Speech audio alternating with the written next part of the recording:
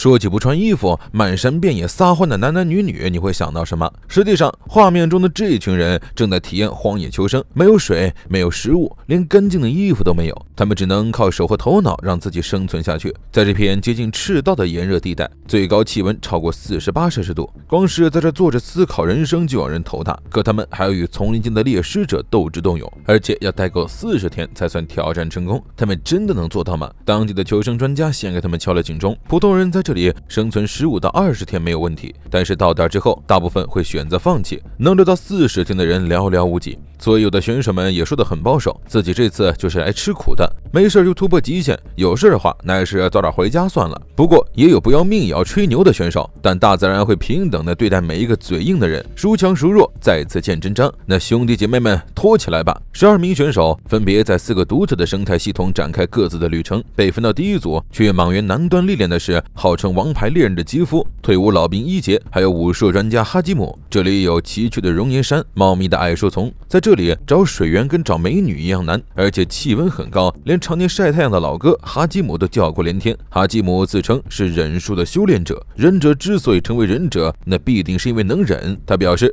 自己是一个持久的男人，无论在哪儿都很持久。杰夫上一秒还在因为野草割伤了小宝贝而难受的撅嘴，下一秒就因为看到伙伴哈基姆而笑出了声。他本来想着，要是能分到一个女队友就好了，闲得没事的时候可以拉拉小手，培养一下感情。没想到一上来就遇到了跨种族的男。男同胞，不过男人扎堆也好啊，力气大好办事儿啊。杰夫提议穿过黑色岩石寻找大片水域，在这里一刻不喝水都感觉人快不行了。而小组另一位成员一杰此时正在高处勘察地形，但这确实不是什么好法子，因为在太阳的炙烤下，黑得发亮的岩石非常烫脚。不过走在这里也不是完全没好处。这不，一杰刚出发就遇到桶形仙人掌，他费劲巴拉的趴下身子，以极其费劲的姿势弄到了一点仙人掌肉，味道还行，就是姿势不够帅。他寻思了一下，打算到下个地方继续耍帅。杰夫和哈基姆走了。好一阵，依稀看到黑色的岩石上有个移动的影子，在这里交通靠走，通讯靠后。杰夫刚喊完，山上的黑影子也回了一声，三人立马汇合。虽然队伍中没有身姿曼妙、讨人喜欢的大美女，但是能遇到熟人已经很幸运了。一杰把手头的仙人掌分给了哈基姆和杰夫，还声称三个臭皮匠顶个诸葛亮，无论如何总不能丢了大老爷们的脸呢。而另一边呢是全女组合，劳拉、伊娃和丹尼他们三人的所在地，灌木丛十分稀疏，在这儿想收集树叶做。草群都很麻烦，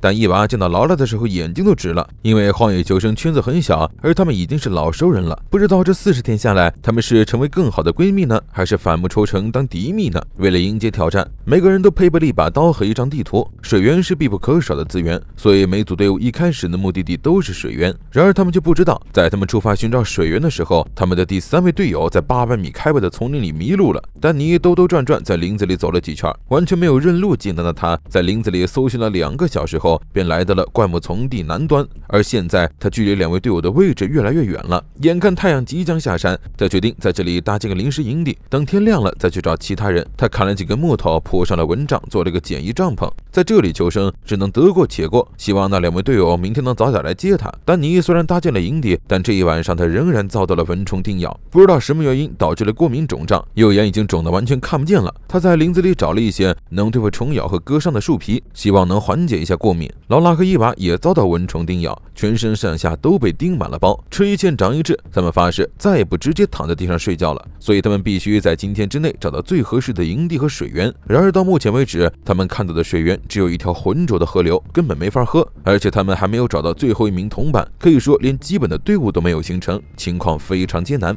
大约三公里外的绿管沼泽丛林里，也有三位小伙伴在这里碰头。不同的是，这个组合有两男一女，卢克和克里斯都是硬汉，霍诺拉是队伍里唯一的女孩子。在卢克苦苦寻找队友的时候，霍诺拉和克里斯已经会面。克里斯对霍诺拉不太满意，因为上次挑战时，霍诺拉扛不住高温，躺在地上失去了知觉，不得不终止了挑战。这里的环境和那时非常相似，不知道他这次能否安然挺到最后。霍诺拉本人却十分自信，这是他雪耻的机会。他发誓这一次他。绝不会让大家把他看扁。霍诺拉和克里斯刚选好营地，卢克就找到了他们。大家开心的打了招呼后，便动手搭建营地了。克里斯觉得霍诺拉运气还不错，遇到他和卢克两个硬汉带他，求生会简单许多。不过这并不意味着别人可以占他的便宜，他才不会累死累活的帮别人做嫁衣。霍诺拉砍了一棵棕榈树，为队友带来了食物。棕榈心是不错的食物，所以他为自己的表现感到骄傲。然而两位男士却在不知不觉中把他边缘化了。霍诺拉觉得他们有点大男子主义，总是不分场合的炫耀自己的能力，凡事都要带着说教意味，让他非常难受。他想，要是都是女生，应该就不一样了吧。最后出场的一组搭配也很不一样。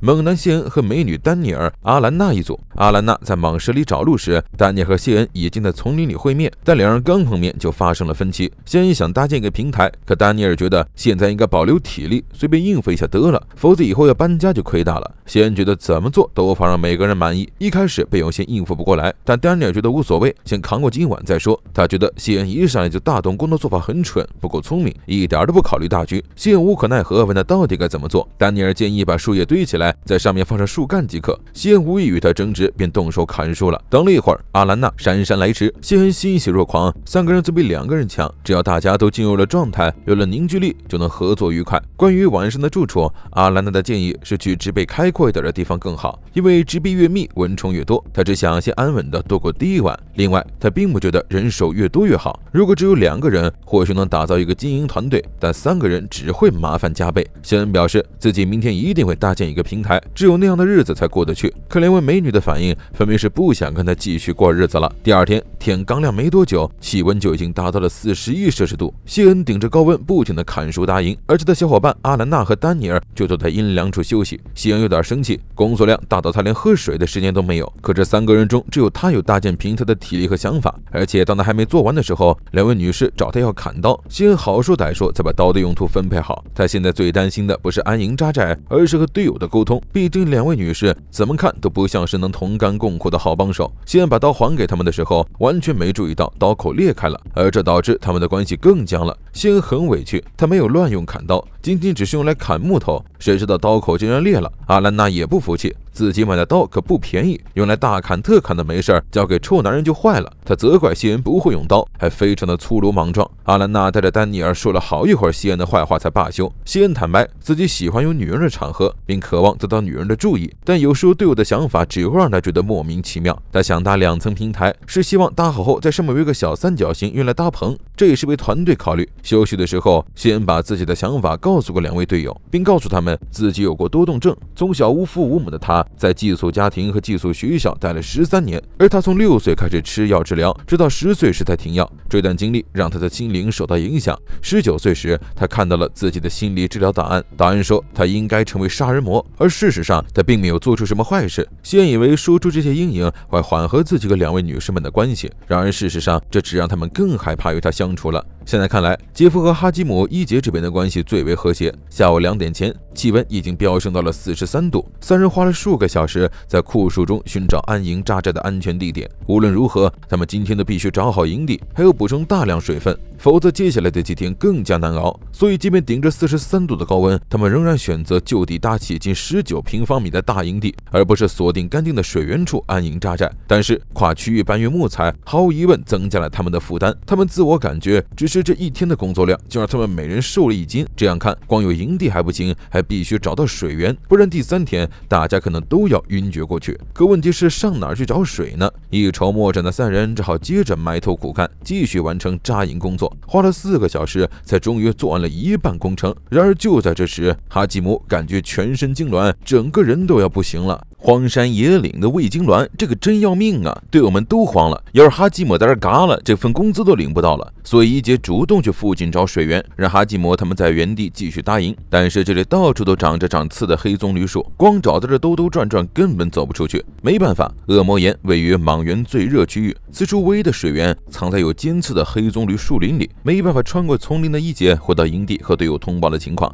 原本看到一点希望的哈基姆，这下心态完全崩了。他不仅胃痉挛。全身都在痉挛，痛得很厉害，肉眼可见他浑身的肌肉绷紧，动弹不得。这就是热痉挛，因为肌肉失去过多水分，弹性就会降低，也就引起了痉挛。而且在这种状态下前进，非常消耗体力，对于哈基姆的身体来。说，无疑是雪上加霜。好在他们的营地打得还不错，虽然今天没法完工，但至少有休息的地方了。在他们说话的时候，哈基姆默默地躺下了。这一刻，他不仅感受到了来。自身体的痛，还有巨大的压力。这三天，除了捅心仙人掌，他们都滴水未进。哈基姆的身体严重脱水，他都不敢想比赛怎么样了。他甚至想，这会不会影响到自己找媳妇儿了？杰夫建议哈基米要走快走，再不走就影响健康了。而且这里一时半会儿找不到水源，除非天降大雨，否则情况只会恶化。哈基姆觉得杰夫说的有道理，但是他更相信这是神给他的考验，所以他决定再扛二十四小时后看结果。这个杰夫整不会了，本来想着少一个累赘，没想到这小子竟然这么坚强。晚上，三个男人挤在一块睡觉，但总听到下面有动静。可是他们现在累得连下去看的心情都没有。夜半三更，哈基姆的身体还在痉挛，他不想麻烦队友，但身体完全不受控制。终于，他们熬过了又一个夜晚，迎来了第四天的太阳。哈基姆累得坐起身都难，四天来滴水未进，让他严重热衰竭。若情绪持续恶化，恐怕会导致器官衰竭，这可比脱水还要严重。听到这儿。哈基姆难受的滚出两行热泪，这是他最不想听到的话。然而他实在心有余而力不足，只要一起身，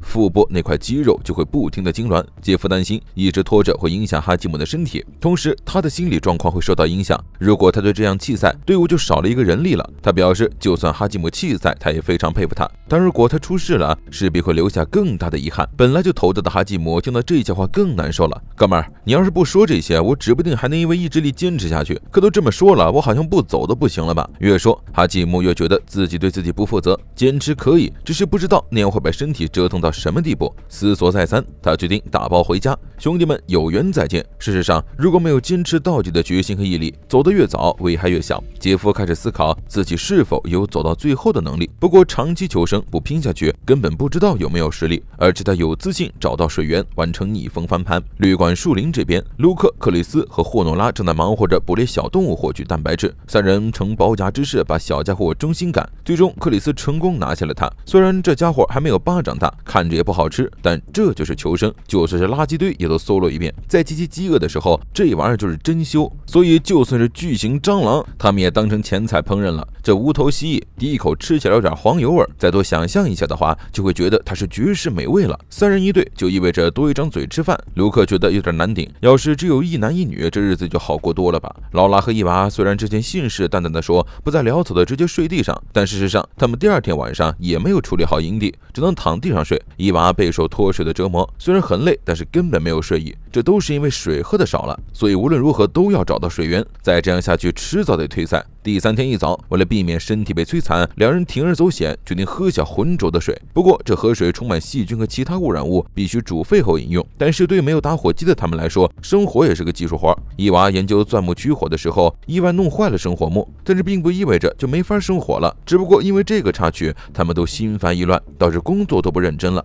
伊娃在削木头的时候，由于不专心，割伤了手，伤口很深，直达骨头。如果不止血，肯定会造成大麻烦。伊娃把手高高举起。等制作组找来来驻地医生，刀口很深，血流不止，需要缝合。为了不耽误时间，伊娃想就地做缝合手术，但这样会非常痛苦，因为没有麻醉的条件，而且还有感染的风险。而如果选择去医院就医，就意味着永久弃赛。伊娃没有多想，就让医生动手了。没有麻醉就穿针拉线，这意志力谁看了不说服？一看就知道这姐姐是个狠角色。伊娃咬着牙，安静等医生动手。虽然这样很痛苦，但是弃赛比这痛苦多了。伊娃忍着痛，医生压力也很大。做手术时手都在抖，到这里肉被割个大伤口已经非常的可怕了。更可怕的是，伊娃并没有这几天就退赛的想法，她将面临的是伤口发炎、皮肤生脓疮的风险。劳拉坐在一旁都不忍心看，伊娃要养伤，也就意味着她要多担待一些。然而到现在，他们连第三名同伴都没找到。第三名同伴丹尼在灌木丛转悠了三天，一点头绪都没有。这时候再不喝水，人都要没了。所以他来到河边，在树根下挖了个坑，试图用吉普赛井净化水源，用挖坑的方法能让土壤充分过滤水里的污染物，但是这种方法过滤不掉致命细菌，而且即便是过滤的水面上仍有肉眼可见的脏东西，这水看起来就不像能喝的样子。但是，一旦脱水退散，就只能打道回府。所以他拧着眉头，捏着鼻子喝了下去。但喝进去之后，他真香了，这什么神仙河水，比家里自来水好喝多了。可惜这是一场豪赌，丹尼希望自己明早起来还有气儿，至少不要刚开始就倒下了。下午一点多，气温飙升到了四十度，谢恩和阿兰娜·丹尼尔待在营地里休息。丹尼尼尔身体不大舒服，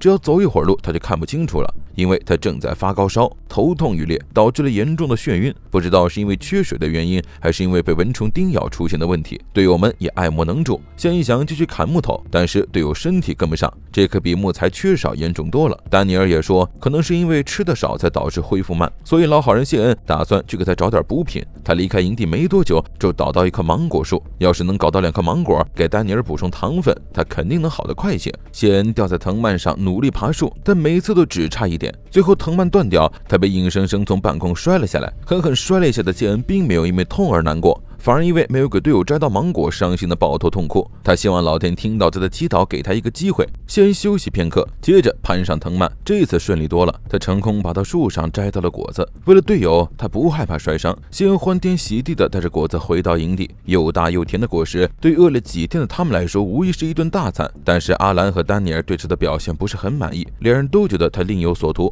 所以他们无视了谢恩的欢喜，对他一副爱答不理的态度。丹尼尔虽然很虚弱，但是很固执。他表示。有果子很好，但是还要三天才能吃。简单的说，他没有把西恩带回来的果子当回事。反正现在还不能吃，那就等过两天再说感谢的事吧。到第七天，参赛的十二个人就只剩下十一个人了。卢克和克里斯、霍诺拉这一对在旅馆树林里发现了一棵果树，可是林子里有蛇出没，所以走进去的时候大家都很小心。霍诺拉觉得需要个胆子大的人爬到树上摘果子，但是没人愿意爬到那个位置，因为这样实在太冒险了，失去的可能比得到的更多。而且克里斯本身就对霍诺拉。不满意，因为上次二十一天求生的时候，霍诺拉什么都不会做，和他一块求生只有无语的份儿。卢克也觉得现在还没必要那么拼命。这棵树高达六米，不爬为上策。反正不管其他人愿不愿意，他肯定不愿意。霍诺拉觉得他们很莫名其妙。从第一天起，他就感觉这俩帅哥在排挤他，不论他说什么，他们都不愿意听，所以他只能默默的在一旁生闷气。两男一女的组合这么难顶，两女一男一组会不会好一点呢？答案是不会。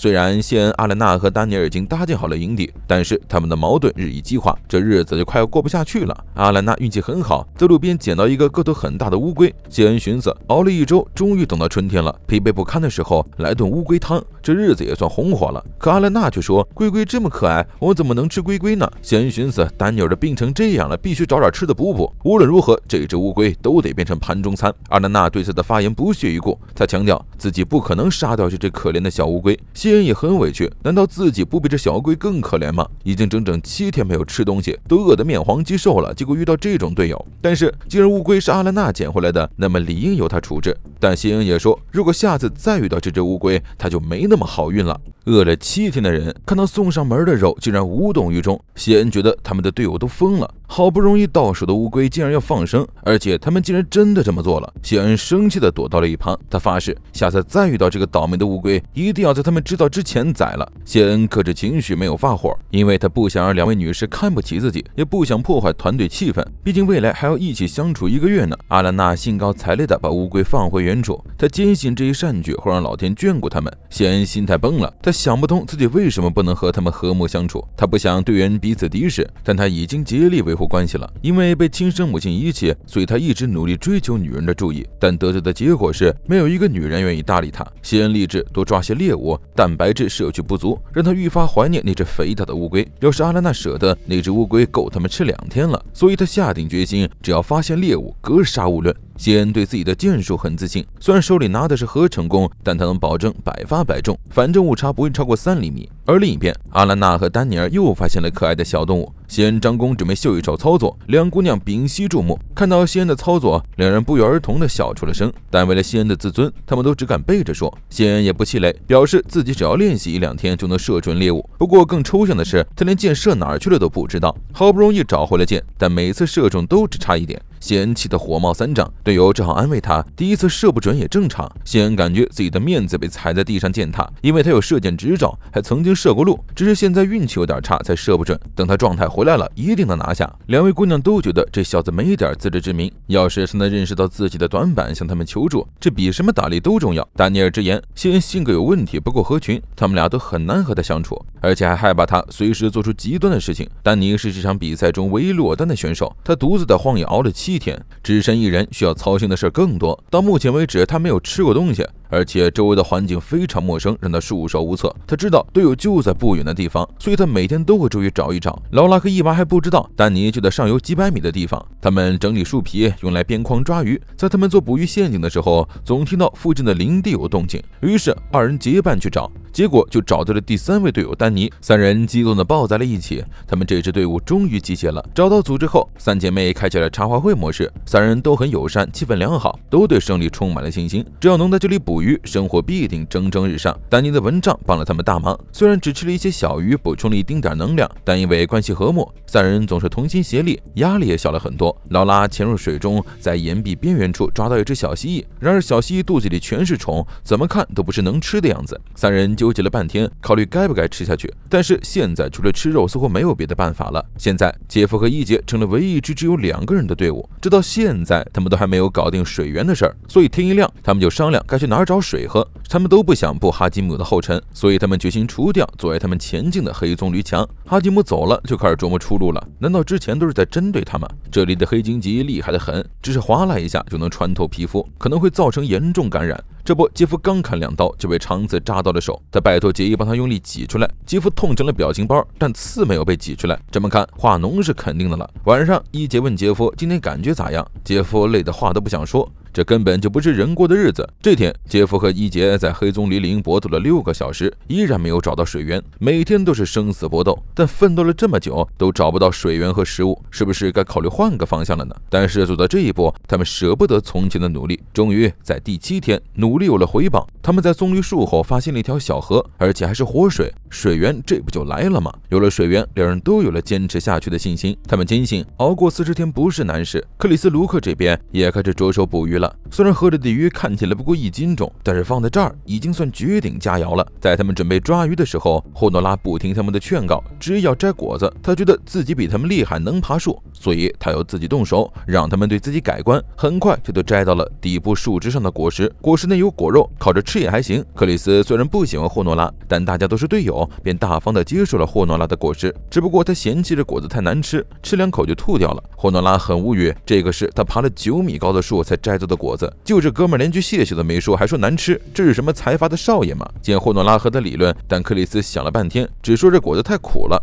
霍诺拉直言，他们不尊重自己，自己当然也不会尊重他们。那各过各的算了。晚上，克里斯被蚊子咬崩溃了，这恶毒的虫子一直叮咬他的私密位置，而且还没完没了，怎么都躲不开。好不容易熬到了天亮，三人决定顺流而下捕鱼。霍诺拉无语，与其找可能不存在的鱼，不如找棵树爬上去得了。但这时候他们俩站一条线，所以他只能附和他们。克里斯是商业捕鱼人，跟着他应该能有肉吃。这条河里有食人鱼，这种鱼攻击性较强，再加上这里有水蛇。危机四伏，随时可能嘎命。克里斯在前面带路，游了一段距离后，他闻到了一种花香，非要上岸去看看。刚上去就看到一种结满果子的树。霍诺拉小声叭叭：“之前你们不吃的果子就来自这种树。”听他这么说，克里斯立马掉头继续觅食。河里也没有看到鱼，果树也过于高大，不易摘，地面的猎物也很难捕捉。直白说，他们仨现在只有饿肚子的份儿。在河里找了三个小时，游了三公里后。累坏了的三人上岸，回到米林地面。果树没看着几棵，腿上刮伤倒是不少，而且他们还必须打起精神，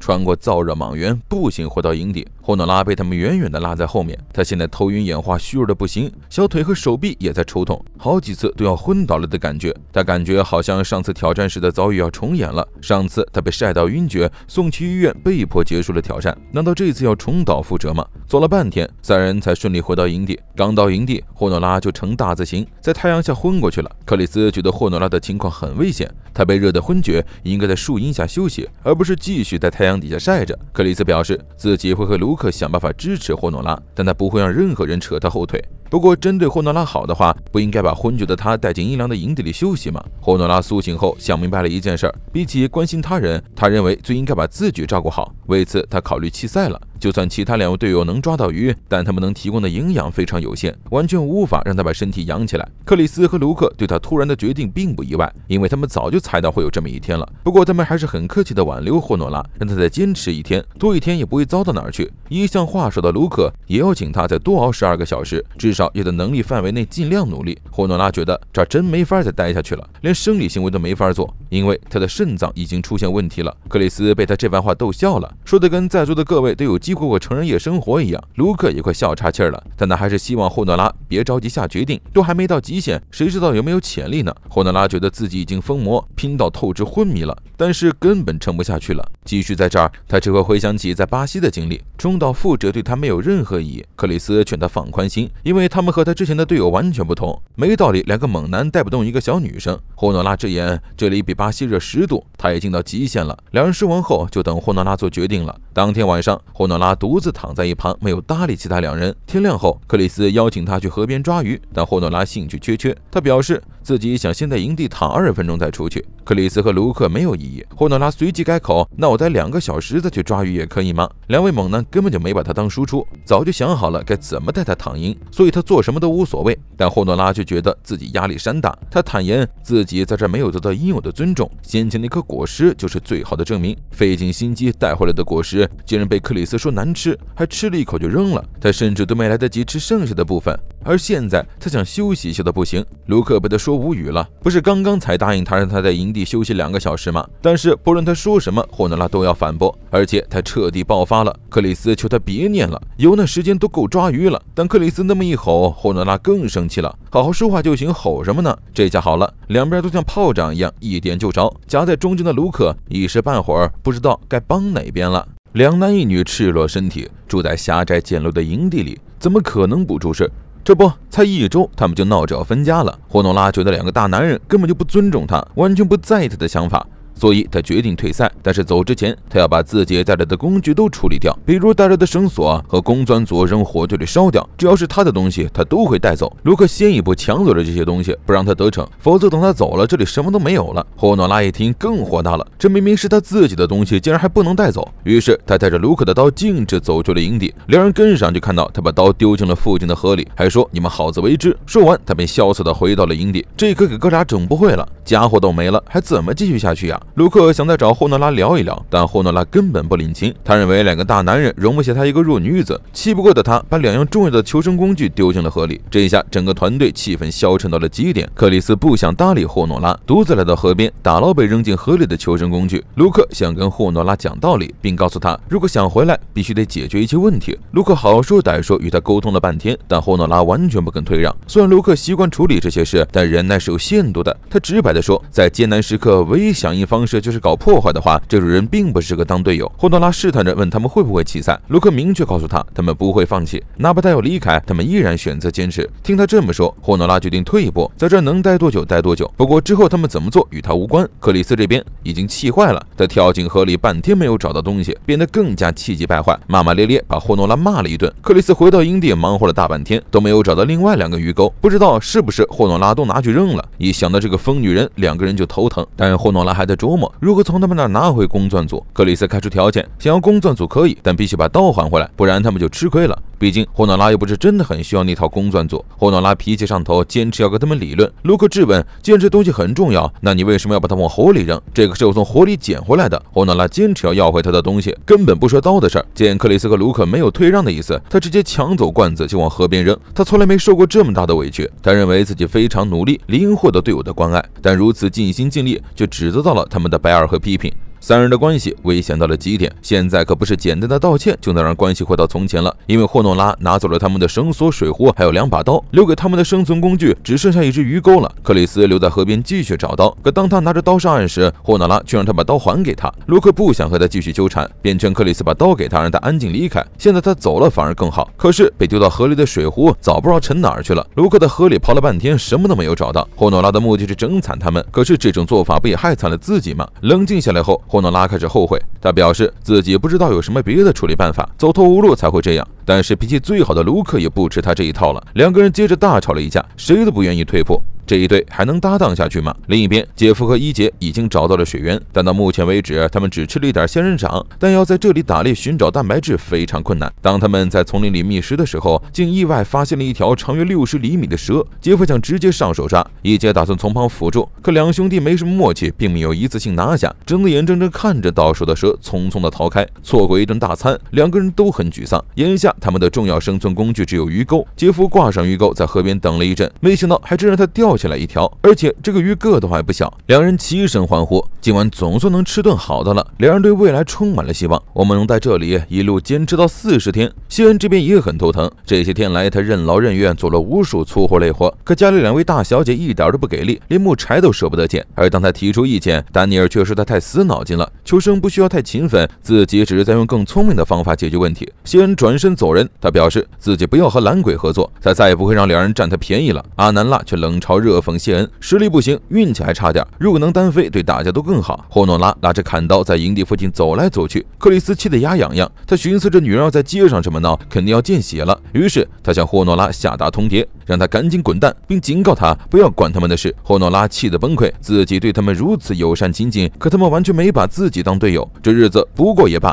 说完，他便带着刀在制作组的护送下退出了挑战。卢克有点担心往后的日子不好过，但这些都跟霍诺拉没关系了。霍诺拉也很生气，自己。本想一雪前耻，没想到这次的队友完全不够看，根本不给他雪耻的机会，逼着他弃赛。看来只能下次再来报仇了。卢克和克里斯来到河边，打算继续寻找被丢掉的刀。两个人轮流寻找，但是根本看不到希望，也不知道霍诺拉到底藏哪儿去了。克里斯扩大寻找面积，终于在边缘处找到了卢克的水壶。水壶在荒野求生中属于必不可少的生存工具，没有它可不行。卢克继续泡在水里，找到了被丢的刀。至于绳索，还得花更多的时间去找。卢克非常乐，他认为。遇到困难，只要尽最大的努力去克服，撑过去就好。还好克里斯也是这样的人。如今这里只剩下了相同目标的他们，肯定能够齐心协力奋战到最后一分钟。全女生队这边气氛依然和谐，他们终于在集合几天后搞好了营地，但是饥饿仍然是极大的危机。食物的缺乏让他们有点恍惚。不过姐妹情深，再加上有目标，所以日子也算有条不紊。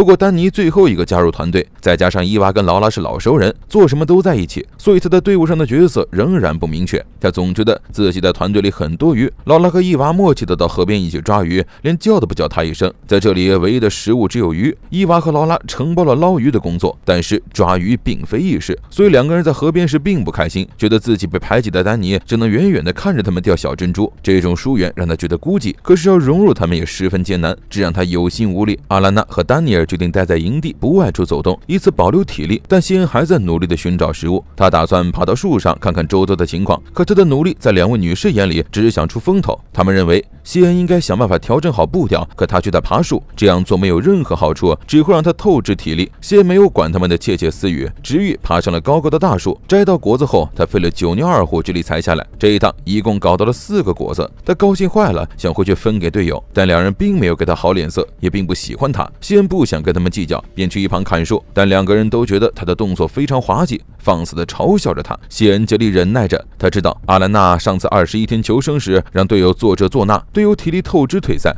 而他什么都没做，这次和他组队只能算自己倒霉，但自己不可能一直帮忙。而阿兰娜却继续嘲讽他，不要一次把风头出尽了。西恩越想火越大，但因为对生存的看法完全不同，所以他决定远离他们，专心为自己工作。这些天，一杰觉得有些胃痛，急需美味的蛋白质来补充身体。但实际上，到这里求生这么长时间了，他们吃的最多的是桶形仙人掌。外出的时候，他终于看到了活的小动物，可是凭他现在的反应能力，根本追不上。杰夫在河边守了一段时间。但也没有收获。两人沮丧地回到营地时，竟然意外地看到一只大乌龟，也不知道是不是阿兰娜他们放生的那只。两个人抱着乌龟，兴奋地手舞足蹈，一起还直接上嘴亲了一口。这只巨大香龟会成为接下来几天的伙食。一想到能吃上肉了，两个人就笑得合不拢嘴。回到营地后，一杰就着手处理乌龟。他们做了个围栏，将乌龟关起来，打算去取水煮乌龟汤，把乌龟的价值发挥到最大。把乌龟关起来后，两人便出门取水了，只希望乌龟不要在他们离开的这段时间跑路了。一杰也没想到，他们出去取水能拖到天黑才回。杰夫拉开牢笼，但里面空空如也。那么大的乌龟竟然逃走了，这一下两人崩溃了。他们急忙去周边寻找，说好的乌龟速度很慢，应该还能找到吧？可是这里伸手不见五指，连灯光都没有，根本找不到目标。两个人这才开始忏悔，因为高兴而忘乎所以。现在煮熟的鸭子飞了，让他们得到了教训。想到逃走的乌龟，一杰就觉得自己的胃更痛了。吉夫也很茫然，两个人摸黑在小路上搜了一遍又一遍，可什么都没有看到。而另一边，正在睡着的丹尼尔和阿兰娜闻到了蛇的味道，他们急忙叫醒谢恩，让他起来想想办法。谢恩烦了个事儿，说多大个事儿，就算是巨蟒，我也能两秒就能制服。但你们害怕就不能自己想想办法吗？荒山野岭随便搭个草棚的睡觉，怎么可能不招蛇呢？阿兰娜和丹尼尔两个弱女子根本不敢抓蛇，所以他们指望大冤种谢恩想想办法。但是谢恩根本不想搭理他们。如果真的有蛇窜到他跟前，他会不费吹灰之力制服。可如果是为了这两个不讲礼貌的女人，他打心底一百万个不乐意。在这片炎热偏僻的荒野待了十二天以后，所有选手都已经筋疲力尽，没办法融入伊娃和劳拉的丹尼决定去莽原寻找可以吃的植物。他觉得自己己的潜能无。处发挥，睁得眼巴巴看着其他两位大姐出力，这种被排斥的感觉让他沮丧。他不想变成队伍的负担，所以打算出去寻找食物证明自己。莽原上有很多杂草，这是蛇最喜欢潜伏的地方，所以每走一步都要格外小心。没多久，莽原上风向变了，丹尼闻到了烟的味道。他有个大胆的想法，他想去看看这里还有什么人。丹尼猫着腰，小心地走到了克里斯和卢克的营地附近。这会儿，他们俩正在吃棕榈树果实。为了不引起误会，丹尼没有和他们打招呼，只是在营地外面偷看。卢克听到一点动静，警惕地朝丹尼这边看了过去。克里斯也跟着找了过去，一下把丹尼抓了个现行。丹尼正要尴尬地和他们打招呼，克里斯热情邀请他参观他们的营地和游泳池。丹尼很喜欢他们的氛围，感觉这俩兄弟就像在夏令营一样。最重要的是，这里有东西吃，有杏仁、棕榈心、黑棕榈和别的水果，而且做什么都一起分享。这种氛围让丹尼感受到了队友存在的价值。正好他随身带了一把刀，可以借给他们换水果吃。被克里斯和卢克关着的那一刻，丹尼希望。自己能换到这边来，这里食物资源充足，两位猛男又很有实力，同时还会关心他的想法，对他十分关照。这种团队谁能不爱呢？丹尼坦白问两兄弟愿不愿意再多一个队友，或者再多三个队友。卢克和克里斯并没有第一时间应下，他们想认真的考虑一下丹尼的提议，毕竟他们之前也曾是三个人的队伍，有新朋友的加入，情况将大大不同。多一个人问题不大，可多三个人可就有点勉强了。而且要是这时候收下了丹尼，以后会合的时候怎么跟另外两位女队友相处呢？克里斯有点。为难，卢克也一脸懵逼，不知道该怎么回应。劳拉和伊娃到河边用蚊帐捕鱼，他们觉得丹尼有点奇怪，总是动不动就玩消失。难道他有什么秘密任务在身吗？这让伊娃对他大有不满，总是见面说一下自己要离开一下，最后人就消失一下午，这让他们很茫然。劳拉觉得自己和伊娃都是热心肠，即便冒着弃赛的风险也愿意帮助别人，可是他不希望对方不愿意支持自己。当他们捞到鱼时，他们总想着给丹尼一份，可是丹尼神出鬼没，一份力都不出，凭什么得到他们的劳动成果呢？在他们说话的时候，丹尼刚和卢克、克里斯告别，在回来的路上，卢克认为丹尼态度不错，是个可以欢迎的队友。克里斯也觉得他很有活力，多个队友能帮上忙。可是如果丹尼来了，那另外两个女生该怎么办呢？克里斯的想法是可以再加入一两个，但不可能三个都来。卢克也这么认为，如果可以一起生存，那当然最好。可是也要照顾自身的利益，比如分给丹尼那部分杏仁，并不会让他们饿着，只是与他交个朋友而已。更何况，丹尼应该不至于到自家营地来偷东西吧？回营地的路上，丹尼一直在思考自己该不该换队伍。和劳拉伊娃一队几乎没有存在感，这让他有很大的心理压力。但男生队有稳定的食物来。源，这是生存挑战中必须优先考虑的问题。投靠他们，自己未来很长一段时间都不会吃亏。回到营地后，劳拉把自己遇到卢克两人的事告诉了伊娃和劳拉，并坦白自己有去他们那的意愿。反正不论在哪边，自己都像个局外人。听他这么说，劳拉和伊娃都很诧异，因为他们一直认为是丹尼自己不愿意合群。伊娃直言，丹丹尼并没有为队伍做出贡献。劳拉附议，至少到目前为止，他们都没有看到丹尼的努力。而他既然已经有了异心，那他们也不太愿意和他继续下去。丹尼表示。其实自己并没有下定决心，否则就不会回来了。而当回到营地后，他觉得还是在这里更好。说那些话，只想坦诚地了解彼此的想法。听卢克那边有很多的食物资源后，劳拉和伊娃眼睛都亮了。丹尼尝试说服他们到那边去看看，不过在去那边之前，他不能浪费一分一秒的时间。晚上，营养不良的三人起床到河边捕鱼。这边的河里有鳄鱼出没，非常危险，因此他们准备了火把。可他们摸黑在河边守了很久，河里却一点动静都没有。见识过卢克克里斯繁华的丹尼忍不住又起了要去他们那边的念头。这天，谢恩还在营地里搬运柴火，完全没有注意到之前错过的猎物竟然回到了营地。阿兰娜两人虽然提醒谢恩注意，等到谢恩提议一起做陷阱的时候，他们就不吭声了。谢恩很失望，等半天才等到他们说要做陷阱就多做几个这种无聊的建议，光说不做，动动嘴皮子有什么意思？谢恩无话可说，转身离开了营地。丹尼尔让阿兰娜别理他，现在的他简直就是个怪咖。如果他能正常一点，稳定一点，说不定大家就能友好沟通，化解纷争了。但谢恩性情不定，做什么都让人别扭，所以才这么不招人喜欢。谢恩觉得自己继续和他过日子会被硬生生气死。这两个公主此刻正睡在他盖好的营地，烧着他捡来的柴火，享受着他的劳动成果，还对他呼来喝去。虽然谢恩早有单飞的打算，但他于心不忍。但每次说完再也不帮了，下面就继续服侍他们。他难道是天生属舔狗的吗？第十四天，阿兰娜和丹尼尔在营地守了一天，都没有看到西恩的身影，便开始责怪他不够义气，出门都不说一声，让队友担心。毕竟在这荒山野岭，也不知道会发生什么意外。但营地这里出事的话，没有他可不行。西恩离开营地的一整天，其实都在筹备自己单飞的事儿。他远离原来的营地，准备盖一个自己的营地，分开，不论是对自己还是对他们都好。只是这样做，可能又要被他们编排成混蛋不合群了。西恩重申，自己离开他们单飞，是因为自己不想跟懒鬼合作。他忙活了几个小时，给自己挑选了营地，找了藤蔓，做好了一张吊床。处理好这部分工作后，西恩回到原来的营地，躺到平台上休息。他想找个合适的时间通知他们自己搬家的事，虽然会被骂，但至少保全了自己的意志。天亮后，丹尼尔和阿拉娜去河边挖了一些黑泥做全身泥膜，预防蚊虫叮咬。回到营地后，西恩就跟他们说了自己要搬家的事。丹尼尔认为西恩应该跟他们商量一下。西恩觉得这事根本没得谈，比如自己问陷阱的事，他们会说好几个不可行的理由，还说多做几个陷阱之类的话。这种好听的话只能听，一点实际效果都没有。因分工合作的情况，每次都只有他一人出力，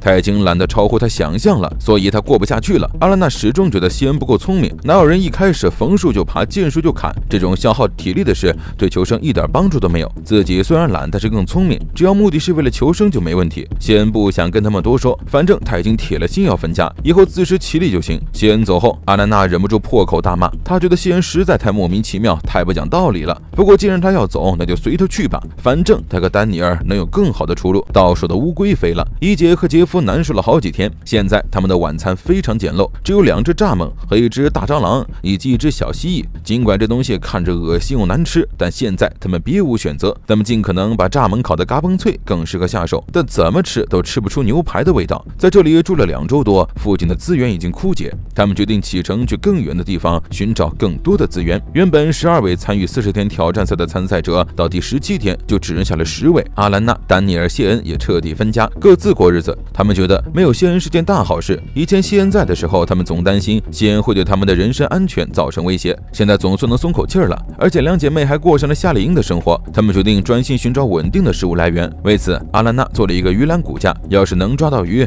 就能去谢恩那里显摆了。因为谢恩老说他们需要他的帮助才能过活，但这并并非事实。阿兰娜把鱼篮放到河边后，就开始做能吃大餐的美梦了。谢恩在距离他们一百八十米左右的地方搭起了自己的营地，还做了狩猎用的长矛。完事后，他迫不及待带着长矛外出觅食，想试试能不能找到之前那只迟钝的水豚。巧的是，那个小家伙竟然真的在附近等着他。只是第三次碰面，他依然没法搞定。想干，阿兰娜这边就传来了好消息，他的鱼篓竟然真的抓到鱼了。虽然这鱼只有拇指那么大，还不够他一个人塞牙缝，但这至少证明他能独立获得蛋白质。这样的话，压力就给到谢恩了。回到营地，丹尼尔问阿兰娜要不要把鱼分给谢恩。阿兰娜表示，喂饱自己才是首要任务。至于谢恩，让他自个儿喝风去吧。两个赤条条的大男人在荒山野岭相遇，会发生什么事呢？伊杰和杰夫在荒野搭档十几天。他们一起搭建营地寻找猎物，非常渴望成为战胜荒野的男子汉。然而这片荒野却让他们失望了一次又一次。还好这里有几个圆筒仙人掌，让他们不至于干巴巴的饿肚子。但是除了仙人掌外，他们什么都没看到。于是他们决定迁移到资源丰富的地方去。可是这附近到处都是岩区，只能想办法穿越岩区，直穿莽原，走到河边去寻找湖泊。如果运气好，或许能在湖里找到食人鱼。不过这段路程足足有二十一公里。途中缺乏水源，而且平均气温高于三十七点八度，光这消耗量就要人胆寒。他们只想尽可能走最短的路径，用最少的体力达成目标。杰夫、担心途中会遇到状况，而且现在还不确定那边是否真的有食物。如果那边的情况还不如这边，那么就白跑一趟嘛。一家让杰夫别乱说话，要是他这开光的嘴巴真说中了，那可惨了。两人信心满满，在出发前还做了背篓，用来携带收集到的仙人掌和器具。两人一一检查了生活用具，最后杰夫还虔诚地向神明祈祷了一番。接着，两人才背上行头上路。旅馆丛林这边同样是两个男人的组合，克里斯和卢克进入莽原寻找食物。卢克发现了一条有颇多猎物出没的街径，顺着这条小道，他们意外找到了一棵芒果树。虽然树干上爬满了蚂蚁，但克里斯仍然顽强地爬到了树顶，摘下了不少芒果。这些小型的黑色切叶蚁非常可恶，咬一口能疼半天，但能得到必要的资源，对于他们来说，这一切都值得。两人带着满满当当的芒果回到了营地，激动的手舞足蹈。卢克一边吃一边笑，根本合不拢嘴。现在他们应该是生存物资最多的一组，不仅有芒果、杏仁、黑棕榈果，还有大量棕榈芯，一堆堆一排排，就像摆水果摊一样。卢克甚至调皮的在水果堆里打滚。现在的他们完全是荒野求生中的贵族。西恩这边可不好受，他和霍诺拉、丹尼尔分家以后，独自在丛林里生存，长期未进食让他体力透支。贫血的他猛然站起来会有点头晕，但他很顽强，不敢放过任何一个寻找猎物的机会，即便半夜三更也要穿越莽原寻找猎物。他寻思，只要能饱餐一顿，一切将会是新的开始。可他刚走进草原，就听到了窸窸窣窣的声音。他提着棍棒胡乱敲打，终于看清楚了声音的来源。好家伙，那竟然是条行动极其敏捷的珊瑚蛇！西恩被吓得魂不守舍，扭头就跑。如果刚才被这玩意儿咬到，他必死无疑。即便回到营地，西恩仍在止不住的后怕。在荒山野岭生存，虽然的确有冒险的快感，但如果不小心一命呜呼，那可就赔大了。阿兰娜和丹尼尔和谢恩分家四天后，双方都感觉日子越来越好了。阿兰娜笑得很开心，她觉得。没有西恩在的地方，春暖花开，连空气都更清新了。两人欢欢喜喜待在营地，除了说西恩坏话，别的事情都不做。而西恩还在河边想办法，他想钓鱼，可是他连鱼钩都没有。没办法，他只好回到原来的营地，求阿兰娜和丹尼尔帮忙。你们愿意在气温下降后帮我抓鱼吗？谢恩问得很诚恳，但两位女士并不想搭理他，因为他们等会儿也要去抓鱼了。谢恩低声下气，希望他们能把自己带上，达兰娜果断回绝了他。谢恩非常尴尬，直接了生火气就离开了。这下看来，两边已经彻底闹崩了。谢恩又气又急，需要的东西都在他们那边，自己也只能放低身段去求他们，这样也太没面子了吧？他预感等到明天，自己可能连生火器都借不到了。如果真到了那种地步，自己除了弃赛，只有跋涉到另一个地方加入别的队伍了。更让他崩溃的是，即便借到了生火器，他也没办法生火。崩溃的他愤愤不平地在地上打滚。他非常想回到阿兰娜那边，想和他们和好，重新商议分工的事。但他的表现让阿兰娜和丹尼尔觉得莫名其妙。到第十八天，劳拉小组也开始商议是否要迁移营地。他们当前所在的地方资源有限，这些天来他们只吃了小鱼和蜥蜴，没有找到一点素食。虽然肉食必不可少，但四十天不吃植物，身体会崩溃。考虑到这些问题，他们决定去别的地方求生。丹尼再次提出了自己不成熟的建议。之前去过卢克和克里斯的营地，让他心动不已。他希望劳拉和伊娃能够一起前往。伊娃觉得去看看也不是不可以。劳拉甚至提出在那里过夜，总之要打探一下那里的消息。三人说走就走，立即启程，要去卢克那边。首先要步行五公里，穿越酷热莽原，再通过旅馆丛林继续前进。莽原上炎热非常，而且随时潜伏着危险，所以三人前进的时候必须花费心力来保证自己的安全。在女生组迫不及待赶往卢克和克里斯营地的时候，他们俩正在火堆旁悠闲地躺着。这些天一直躺在沙发上，让卢克浑身难受，所以他想瑜伽伸展筋骨，放松肌肉。他还劝说好队友克里斯和他一起做瑜伽，但克里斯表示自己没有一点紧绷的感觉。他的紧绷感消失在霍诺拉气色的那一刻。从那以后，营地里就只有自由舒适的感觉。但克里斯拗不过卢克，两个人合拍的。做起了瑜伽。克里斯从未想过自己会在如此偏僻荒凉的地方裸体倒立。他想了半天，觉得男男瑜伽还是适可而止比较好。做完瑜伽后，没休息多久，丹尼便带着拉拉和伊娃来到了他们的营地。正在啃果子的克里斯愣住了，反倒是卢克热情地接待了三位女士。交谈中，克里斯的笑容逐渐凝固，看起来非常尴尬。看到地上成堆的坚果和吃不完的芒果，三位女士眼红的不得了。这里的生活和他们之前的营地天差地别，有什么理由拒绝加入呢？卢克热情地邀请他们到湖边冲凉，三人沉浸其中无法自拔。克里斯到现在都没缓过神来，这种抬头就能看到国体美女的机会实在太少了，甚至可以说根本没有这种机会。所以他目不转睛地盯着三人。不过留下这三位美女并非易事，虽然这里资源丰富，但只够他和卢克享用。分成五份就很难说了。女生组这边也表明了自己的立场，来到这里也并不是为了占他们便宜，而是他们那边营地确实无法过日子。虽然每天都能吃上小鱼和蜥蜴，但吃不上素，让他们百感交集，所以才需要迁徙到新地方寻找可以食用的植物。听他们这么说，卢克和克里斯来劲了。他们的情况和劳拉等人完全相反，这边食物丰富，多的可以在上面打滚。但很遗憾，这些食物都是素食，缺少蛋白质。如果两边能够分工合作，这将会是一件大喜事。卢克对队友基本的要求是保持积极态度，他希望所有人能团结一心，即使饿着肚子也要撑到四十天。三位女士也正有此意，于是五人小组正式成立。午饭时间，克里斯为他们准备了烤熟的芒果，还有新鲜的坚果等。伊娃十分感动，不但感叹这里条件实在太好了。卢克和克里斯本来没有必要非要他们加入，但他们这么做了，这说明他们真的很善良，所以他也下定决心要帮忙捕猎。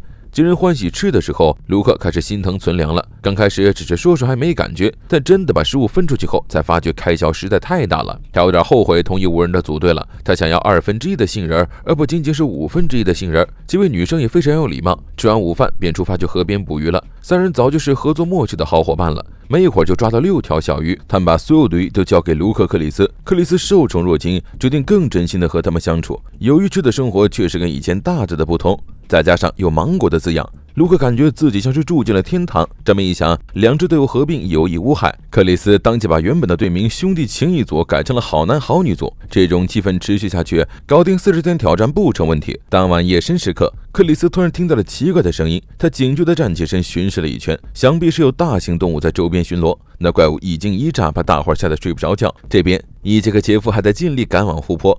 然而，尽管他们已经在干燥的莽原中步行了六个小时，但他们离湖泊还有一半以上的路程，打赤脚大大拉低了他们的效率。现在的他们就像是刚和巫婆做了交易的美人鱼，每走一步都像走在刀刃上。而且他们打包的水已经喝到底了，天色骤变，马上太阳就要下山。可他们还没有找到扎营之处，什么都没有的他们决定抄近路赌一把，进入漆黑的丛林寻找容身之所。可是刚走进大片树林，才发现自己其实已经走进了洞穴。如此宽敞的洞穴，简直就是天选营地。两人情不自禁往里走，越看越满意。这里还有一块比较宽大的光滑岩石，可以反射热量。只要在这生一堆火，好日子不就来了吗？但是在这里居住要格外注意洞顶的小蝙蝠，要是被他们误伤，感染狂犬病就完蛋了。杰夫躺在地上就不想起来了，走了一天，本就透支了体力，还要被沙蝇、小蚊虫之类的叮咬，也难怪这的脚踝肿得老高。当前最要紧的是找到充足安全的水源，好在今晚可以好好睡一觉了。运气好的话，明天就能走完剩下的路，找到一片绿洲，和两位大美女赤条条的过没羞没臊的日子。还有什么不满意的呢？谢恩思来想去，觉得可以再找他们商量下，自己能干苦力，能低头，跟在他们身边当保镖也行啊。当然，这主要是因为他独自在丛林探险这四天，生活打猎一事无成，希望有个好队友能帮衬一下。于是他再度回到营地，尝试和阿兰娜、丹尼尔沟通。信我，我们三个合作绝对有胜算。阿兰娜觉得很莫名其妙，说要走走的人是他，想回来的也是他。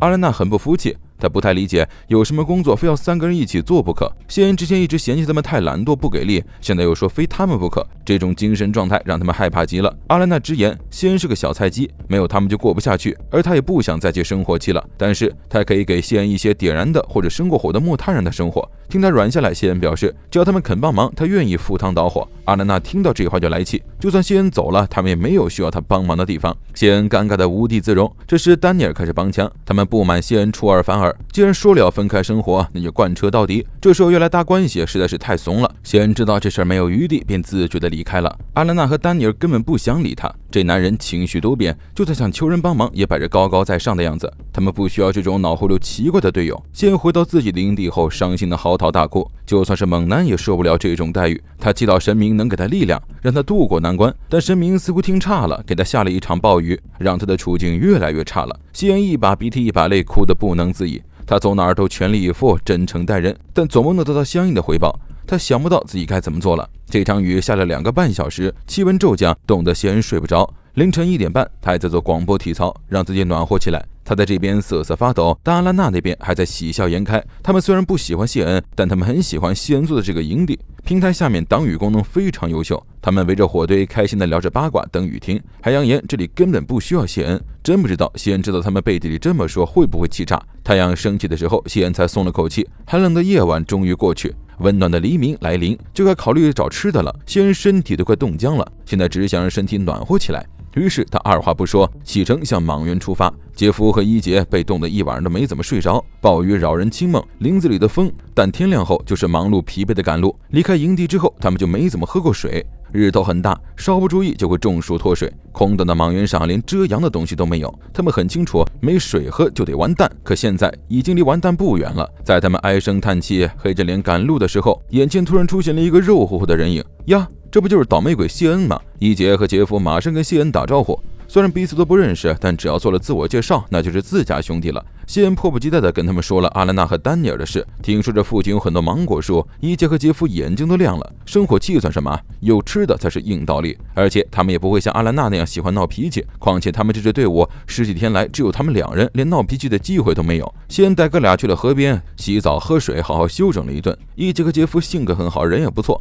当了十几天受气包后，见到这么通情达理的人，感性的谢恩激动的要哭了。在刚刚被两位女队员抛弃，就接着迎来两位壮汉的暖心安难道是神认可了他虔诚的祈祷吗？喝到水的一杰觉得自己完全重生了。他拿出一颗巨大桶形仙人掌，想跟谢恩换水果。谢恩表示，以后咱都是一家兄弟了，还说什么交易不交易？带我走吧，哥，最好在明天天亮之前就离开。谢恩说的很直白。一杰和杰夫有些犹豫，之前的三人组经历不太美妙，让他们不敢轻易相信别的队友了。再者说，他们现在的双人组已经优秀到不需要别人加入了。杰夫告诉谢恩，他们之前抓到一只大乌龟。但是很不幸，乌龟逃走了。谢恩正好有相同的经历。刚说到，两位女队友莫名其妙放走乌龟，听到动静的阿拉娜和丹尼尔就过来看热闹了。杰夫和伊杰热情地跟他们打招呼，哈喇子都快流出来了。见他俩看到阿兰娜二人如此热情，谢恩心头咯噔一下，似乎自己又被排除在外了。杰夫直觉这是个不方便掺和的修罗场，于是他直接说了交换物资的请求，还再三强调在这里只是短暂停留，没有别的打算。接下来还要继续往前走。伊杰和杰夫打算走十一公里，赶到皮拉纳湖。那里距离获救点仅六公里，是第四十天挑战结束的地点。他们希望这片湖泊能提供足够的鱼和猎物，让他们坚持到最后。遇到西恩一队，对他们来说是个不错的交换物资的机会。可西恩直说要加入，这让他们十分为难。一杰直言，多个人也许弊大于利。杰夫觉得西恩是个潜力股，他是个做什么都勤奋的伙伴，而且他曾经和队友闹过矛盾，肯定不会重蹈覆辙。若是能拉拢他，一定会发挥大用处。一杰寻思，这话好像很有道理，但他还得再想一想。在前往皮拉纳纳湖之前，他们还顺手教丹尼尔和阿拉娜钓鱼技巧。杰夫对未来二十天的生活充满了向往，他表示自己会在皮拉纳湖钓大鱼，过上荣华富贵的日子。阿拉娜一边放钓线，一边不屑地说：“万一那边的鱼非常小呢？”听到这话，其他人都沉默了。再怎么不会说话的人，也不至于在人家兴头上泼冷水吧？可阿拉娜根本没看懂气氛，还强调那只是他们不切实际的幻想。这个杰夫整不会了。先直接背过身去，他真的受够和阿兰娜相处了。每次他说什么或者提议什么，阿兰娜会立刻泼冷水。和这种人一起生活，只会感受到满满当当的负能量。先问一姐怎么看，还说阿兰娜平时就这么对自己的。听他抱怨一番后，一姐也看不下去了，邀请他一起去皮纳拉湖。一姐认为这是当前最好的处理方法，他们三人一起一定能走到最后。走之前，他还特意跟阿兰娜两人说明了。情况。丹尼尔是素食主义者，只要吃点果子就能过活。对阿兰娜来说，这里的物资完全足够，所以他们都没有要走的意思。听到谢恩要走，阿兰娜反而松了一口气。他去投靠谁，他都无所谓。他认为谢恩可能会惹麻烦，和他告别，这简直是天大的喜事。杰夫和伊杰、谢恩尽可能沿着丛林边上行动，但对准的路线上全程不会有任何遮阴。要在如此炎热的天气下，冒着四十三度的高温完成十一公里的长征，着实不易。穿过炽热莽原会被赤道烈阳反复炙烤，而且这里的湿度可达百分之七十，湿热会带来相当严重的问题。他们随时都要防备各式各样的问题。天气很热，四周仍是空旷一片。莽原上的热不仅仅能把人热晕，还会把人热死。这种天气只要两个小时就能热死，说是人间炼狱也不为过。能否成功完全是未知数。卢克、克里斯和丹尼伊娃劳拉的队伍也是两支队伍合并的队伍。起初，克里斯给了姑娘们两天试岗期，接触后发现大家都很好相处，所以现在这支五人队伍发展的很好。不过人口增多导致食物消耗量大，让他们对未来产生了危机感。好在丹尼的渔网提供了大作用，让他们隔三差五就能吃上鱼肉。尽管这些鱼小的只够塞牙缝，但是能分到微小的蛋白质已经很奢侈 了。简单说，现在状况不妙，以后可能还得转移阵地。克里斯觉得最后肯定要迁徙，因为这里的鱼很小，蛋白质有限，只有大鱼才能改善五个人的生活。由于蛋白质严重缺乏，他们五人只能吃未成熟的芒果。紧接着，后遗症开始显现，每吃一口，舌头都会传来剧烈的灼烧感。尽管他们已经用烤熟的办法简单处理过，但危害仍然很大。克里斯的舌头上到处都是溃疡，痛得要死不活，但不吃也得吃，这是当前能带来能量的主食。糖分在缺乏蛋白质时补些营养，现在还有这条件已经非常不错了。但要继续熬下去，必须另寻食物来源。五人齐心协力，将剩下的芒果都切成片，晒成果干，为千鹰做准备。劳拉认为，唯一的办法是穿越莽原寻找蛋白质。他选定的打猎区域，也就是伊杰他们早就看好的皮纳拉湖。队友们也认可了他的建议，答应和他一起前往。这一趟旅程差不多要步行九公里。等到达目的地，他们剩下的人就能一起相会了。定下计划，一行人决定明天天亮再出发。无论去哪儿，总比在这坐吃山空好。伊杰克杰夫先三人顶着毒辣的太阳，在莽原走了很久，感觉身体里的水分都要晒干了。但他们距离目的地竟然还有五公里。即便几个小时过去，太阳依旧热辣无情，似乎没有挪动位置的意思。在烈阳下走了五个小时的他们，早已筋疲力尽，到处。都是熔岩、荆棘和仙人掌，滚烫的岩石烫得脚痛，膝盖都无力弯折了。先觉得自己要完蛋了。如果皮纳拉湖没有足够的蛋白质，他们绝不可能熬到第四十天，说不定再走下去，明天就要被抬走了。空荡荡的莽原上有三个裸男正在着急赶路。他们是到这里体验生活的冒险者，已经在这里生活了二十天的他们，准备去莽原的另一头寻找生活物资。莽原上有风吹过，风会带走身体里的水分。原本就脱水的情况下，只有一壶水，他们支撑不了多久。他们不得不承认，来之前低估了荒野求生的难度。上一次冒险，他们在荒山野岭熬了二十一天，但在这里求生四十天，远比二十一天难几倍。他们三人耗费七小时在莽原。上走了九公里后，身体彻底顶不住了。下午一点，气温飙升到了四十摄氏度，水壶滴水不剩，他们只能靠仅剩的一棵树乘凉。休息片刻后，才继续朝着树林出发。进入树林之后没多久，他们便看到了梦寐以求的皮纳拉湖。荒原中的湖泊通常是猛兽的栖息处和聚会场所，这里最出名的便是凶猛的电鳗。这里的野生电鳗长达两米，放电可达六百伏特，足以置人于死地。除此之外，这里还有巨蟒、凯门鳄、食人鱼，一旦遭受攻击就会没命，所以三人时刻提心吊胆。虽然这里到处潜伏着危机，但对于求生者来说也是一条生路。放眼整片莽原，也只有这里有水和大型猎物。如果能狩猎，他们将依靠这片湖泊熬到第四十天。三人靠在树下休息，一杰率先发表感言：这一路走来，汗水淋漓，吃了不少苦，但这是三人组第一次获得了胜利，大家应该打起精神，好好庆祝。原本就心灵脆弱的谢恩听到这段话，感动的流出了眼泪。到这里这么久，他终于体会到了同伴之间互相搀扶的感觉。一杰表示，在这场要命的长征中，大家的关系不断巩固，日渐升温，才有了今天的成功。只要熬过这个坎，后面的日子就好过了。三人集思广。广义布置打猎计划，分配任务，一切安排的井井有条。到目前为止，他们已经是个优秀的团队了。晚上七点，天已经全黑，警戒的三人人手一把短刀，时刻防备着可能出现的危险。河边处处充斥着危险，毕竟河里什么都有。五人组这边情况有些糟糕，劳拉不小心招惹了蜜蜂，身上被叮了好几块，伤口肿胀，头晕眼花。但他认为这是在丛林冒险应该付出的代价，并不是什么大事，所以他会继续坚持到最后。到第二十四天，他们的芒果片已经完全晒成芒果干了。他们决定迁移到获救点附近后再做打算。清点好生活物资后，他们便出发了。和一杰、西恩他们三人组一样，五人组也需徒步九公里，穿越到莽原皮纳拉湖。当然。现他们已经在那扎好营地，现在过去势必会与他们会合。不过远征并非易事，天气炎热，大家能否安然抵达目的地还是未知数。克里斯发现有一只蜥蜴一直埋伏在草丛中跟踪他们，说不定附近还有可怕的蟒蛇在盯着他们。想到这儿，他们加紧了步伐。但走了四个小时后，他们的腿就开始不听使唤了。这段时间，他们只走了五公里路，意味着他们还得在这熔岩遍地、芒草遍布的地方走剩下一半的路。地面烫得不行，他们脚都快被烤焦了。但他们没有停下，继续前进。杰夫打算在湖边钓鱼，一杰胃痛的不行，他感觉能量似乎一夜之间全部都消耗殆尽。了，解决饥饿问题是首要任务。谢恩走进林地，找了一些藤蔓做鱼篓。杰夫和伊杰留在河边钓鱼。谢恩已经饿到极点，人都瘦脱相了。杰夫拉着鱼线，祈祷赶紧有鱼上钩。正说着，他们发现鱼饵旁来了一条电鳗，这只电鳗大得离谱，至少够他们三顿。听到呼喊声，伊杰立马带着鱼叉来到岸边。杰夫拿起棍棒，眼疾手快地往电鳗头上插。不到十秒钟，电鳗开始放电。杰夫被接连电了几次，伊杰让杰夫赶紧上岸，说着便拿着砍刀直奔电鳗。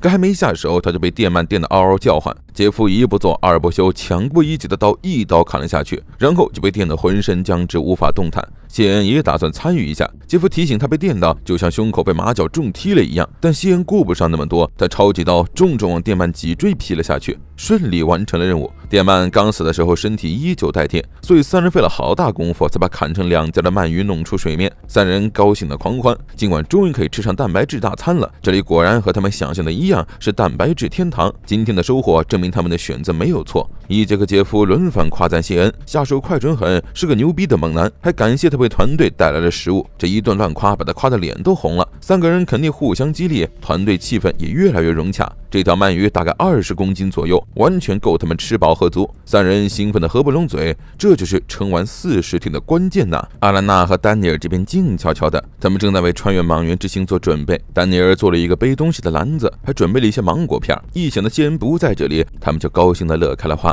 虽然这么说不厚道，但他们确实松了口气。在他们眼里，谢恩是耽误他们求生计划的最大阻碍。只要谢恩在这儿，他们就得谨慎恐惧，时时刻刻紧绷着神经。阿兰娜嘲笑谢恩会破坏那一对融洽的合作气氛。然而此刻，谢恩正等着开饭呢。前二十一天，他一直饿着肚子，没有摄入一点蛋白质。现在他终于可以饱餐一顿了。他们把鳗鱼切成块，穿成了串做小烧烤。这些天，他们已经虚弱到站起来都头晕眼花了。但今天饱餐一顿，必定让他们起死回生。谢恩参加挑战时最大的梦想就是能有和他同甘共苦的好队友。现在他的愿望终于实现了，大家齐心协力获得了一顿蛋白质大餐。此情此景，怎么能不让他欣慰呢？在开饭前，三人诚心祈祷了一番。而当他们祈祷完毕，正准备开动的时候，他们面前突然出现了另一伙人，而那正是赶在天黑前来到皮纳拉湖的五人小队。这下林子里可热闹了。卢克最先和他们打招呼：“哎，你们正在吃大餐吗？有我们的份吗？”面对突然出现的一行人，三人脸上的笑容僵掉了。费尽心机抓鱼，正准备大口吃喝犒赏自己，突然出现五个人要分享自己的劳动果实。这种事谁看来都会心里不平衡。杰夫虽然心里也有意见，但事已至此，他们不能见死不救。于是他们把鳗鱼肉分给了五人组，希望接下来的十七天大家能同心协力，顺顺利利。吃了晚餐后，卢克便带着小队告辞，准备去他们的营地了。有了杰夫他们送的鳗鱼，个个都容光焕发，有了安营扎寨的力气。卢克提议明天也去河里抓鳗鱼，毕竟只有不断的获取蛋白质，才能在这里长期生存下去。送走卢克一行后，杰夫和伊杰先商量了许久，以后不能再这么大方的分享食物了。这么多人一起争夺有限的资源，最后可能会失控，弄得很难看。为了避免这种情况，必须先制定好规则。不过在那之前，还是不要浪费难得的好心情了。三人吃着烤肉，庆祝到半夜。可刚睡着没多久，就有大猫咪光顾了他们的营地。杰夫猛地窜起，叫醒了另外两人。现在谁也不敢睡，都拿着棍棒在营地守着。几分钟后，他们听到另一片营地传来的呼号声。坏了，那群人不会被吃了吧？等了一会儿后，那边终于安静下来了。看来那只大猫已经走了。不过大家都不敢掉以轻心，躺在篝火边安静的守夜。而另一边，阿拉娜和丹尼尔准备了大量腰果和芒果，抹黑离开了营地。天亮后，杰夫和伊杰谢恩在营地周围找到了大猫的脚印。身处丛林，有食肉动物出现，并不让人意外。可他竟然胆子大到靠近有篝火的营地，这说明当前的位置已经不安全了。谢恩虽然担心猛兽，但只要有队友和他共患难，他便能安心的待在这里。他们选的营地距离获救点很近，但四周围绕着灼热的火山岩和浓密的丛林，遇到猛兽的可能性更大了。一早醒来，谢恩感觉自己浑身不对劲。过去三周勤奋过度的他消耗了大量体力，濒临崩溃的边缘，身体严重脱水的他已无法将蛋白质转化为体力，所以即便吃了不少鳗鱼肉，他的身体依旧很虚弱。虽然他没力气走到湖边取水，但他仍坚持为队伍出力，安静的待在营地编织鱼篓。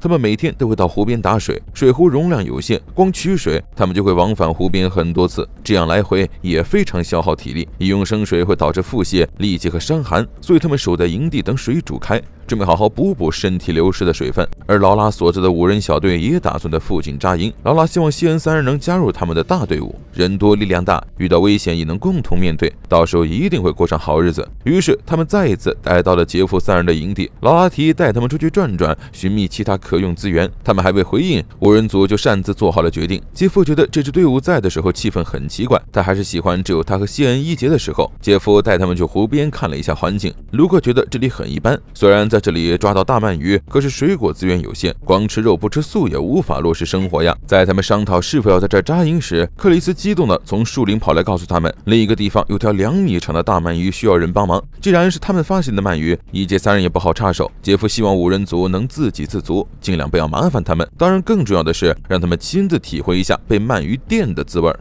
五个不穿衣服的男女围着湖边窃窃私语，不知道的还以为他们要开什么奇怪的 party。然而事实上，他们正打算在这抓两条电鳗。克里斯觉得大家应该团结起来，把电鳗赶到浅水区去，这样更容易得手。但是电鳗会释放六百伏特电力，贸然靠近只有被电的份儿，多次触电会导致呼吸困难和心脏衰竭。不过为了这顿美餐，他们必须拼了。五人一起下水，朝着家伙等电鳗露头。在他们的挥赶下，电鳗终于来到了湖岸边缘。胆子最大的卢克俯身趴在水面上，手在湖里慢慢摸索电鳗的位置。浑浊的湖水让他看不清电鳗的所在地，只能蒙着头瞎找。但这可是电鳗呢！卢克的手轻微碰到那条电鳗，便被电了一下。这一惊一乍，把队伍给逗笑了。卢克仰起头，遗憾地告诉大家：“没办法，这玩意儿根本不可能徒手抓呀。可是也没人叫你徒手抓电鳗吧？”卢克腋下被电，瞬间感觉胸口被崩开了一样。而那只警觉的电鳗已经。一溜烟逃走了，队友们被卢克的反应逗得合不拢嘴，完全不关心鳗鳗鱼到底去哪儿了。当然，这也可能是因为他们昨天吃的太饱了，现在没那么强烈的求生意志吧。但克里斯是个意外，他觉得幻想破灭，在座的各位都有责任，尤其这三个躲在旁边偷笑的女人，只会看戏，一点事儿都不干。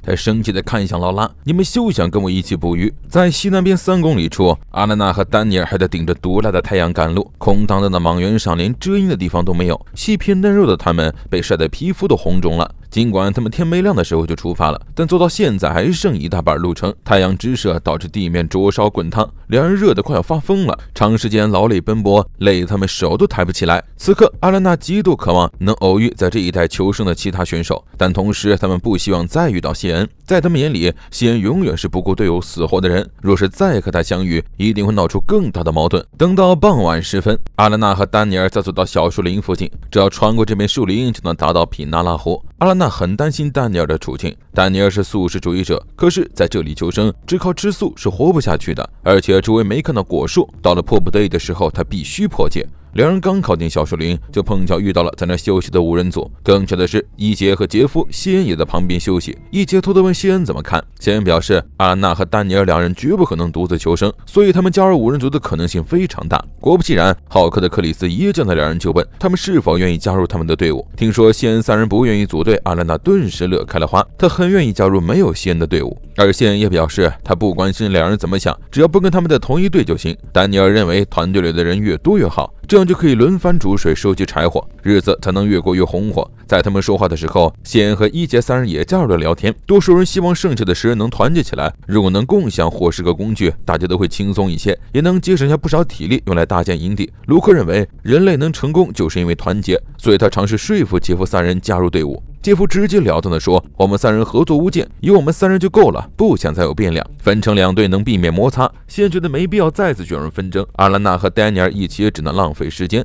伊杰同意他们的看法，于是三人潇洒离场，留下一队人懵逼的目瞪口呆。阿兰娜丝毫不关心三人的意愿，对他来说，看不到谢恩反而是件喜事。选好营地，三人组制定了长期求生计划。可刚刚运行没多久，谢恩就不行了。比赛前二十一天，他在丛林里没有获取到半点蛋白质，这导致他的身。身体非常虚弱，站起来一会儿就头晕目眩。长期劳作让他少了五公斤重要的肌肉组织，也导致他身体机能停摆，即使吃了鳗鱼肉也无法消瘦。杰夫也意识到了问题，西恩体力不足，身体状况不妙。这个拖延他们的计划，同时他觉得很奇怪，因为昨晚那顿大餐让他容光焕发，精神超好。可同样吃了那么多肉的谢恩完全吸收不了营养，直白说吃了个没吃一样。如果他继续这样下去，任何队伍都带不动他。晚上，七人小组正围着篝火唠嗑，卢克总觉得脚下有东西在蹦蹦跳跳，他不耐烦地伸手去摸，竟抓住一条蛇。没想到才来营地第一天，蛋白质从地里冒出来了，这可比过去二十三天救营地厉害多了。要是每天都能抓到这么多小动物，岂不是完全不愁吃喝？但对于不吃肉的丹尼尔，他们只能为他祈祷，腰果能从地上冒出来。第二十天一。一大早，七人大队便开始搭建营棚。阿兰娜和丹尼尔也身体疲惫有待在一旁休息。没事做的卢克留在营地和他们搭讪。听到西恩的营地传来砍树的呼号，三人大肆嘲笑了一番。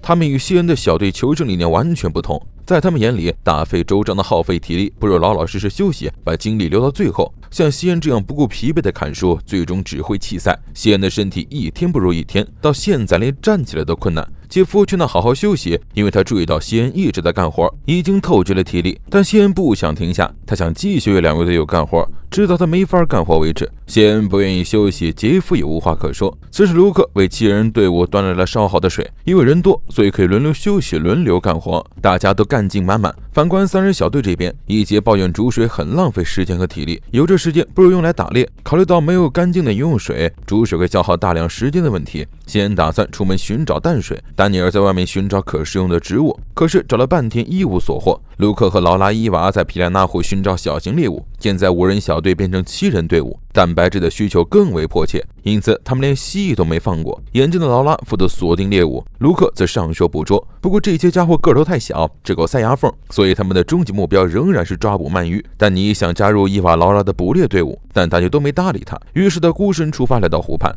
发誓要自己抓到鳗鱼，让大家刮目相看。谢恩拖着疲惫的身体来到距离营地十几米的湖畔，他趴在地上，硬生生掏了一个将近一米深的大洞。如果这口井里的水干净，可以直接饮用，那他们将有喝不完的水，就能省掉大量煮水的时间。杰夫和伊杰对谢恩连连夸赞。不过，虽然土壤能过滤到水里的脏东西，但不能保证这水可以直接饮用。于是，谢恩自告奋勇充当小白鼠试水，正好他是这里最虚弱的人。如果他出事了，至少知道这水不能喝了。谢恩喝下水的第二天，他的肚子仍然没有半点异样，所以他敢肯定这口井没有问题。这下队友们终于可以放心大胆的喝井里的水了。一杰高兴坏了，有先挖的这口自流井，他们省下了不少体力，再不用担心找水和烧水问题了。七人队伍这边抓电鳗失败后，他们试着用丹尼的蚊帐捕鱼，可是他们在水里泡了半天，连小鱼都没抓着几条。目睹这一切的杰夫笑得合不拢嘴。现在已经有了稳定水源的他们，有大把的时间捕猎。他们又让这伙人看看什么才叫真正的丛林捕猎者。杰夫站在湖边安静地垂钓，没过多久便钓起来一只小鱼。杰夫偷笑着收拾了鱼，又继续放下了鱼钩。而此时，一杰正在看七人组像猴子一样的在树上抓蛇。七个人毫无默契地围着一棵树，上蹿下跳地抓一条可爱的小蛇。一杰立马换了个位置坐下来慢慢看。他已经很久没看这么精彩的电视了。七人组没有半点默契，任由小蛇爬到了高处。去，眼睁睁看着美味零食逃走的他们，心底都燃起了莫名的怒气。而正在垂钓的杰夫突然激动的大喊大叫，听到动静的伊杰和谢恩还有七人组都急忙跑到湖畔查看。原来杰夫一个人钓起了一条电鳗，大家都以为是杰夫被咬了，没想到一过来就看到他在装逼。杰夫也没想到自己只是祈祷钓上一条小鱼，神却大方赐予他一条大电鳗。不过七人组在眼巴巴的旁边看着，自己该不该把鱼分给他们呢？他相信，既然神站在自己这边，应该会让他做正确的。的事，所以他决定分一半鱼给七人组。克里斯明白两队的立场，所以劝杰夫不要勉强自己。但杰夫也没想太多，大方的把另一半鱼让了出去。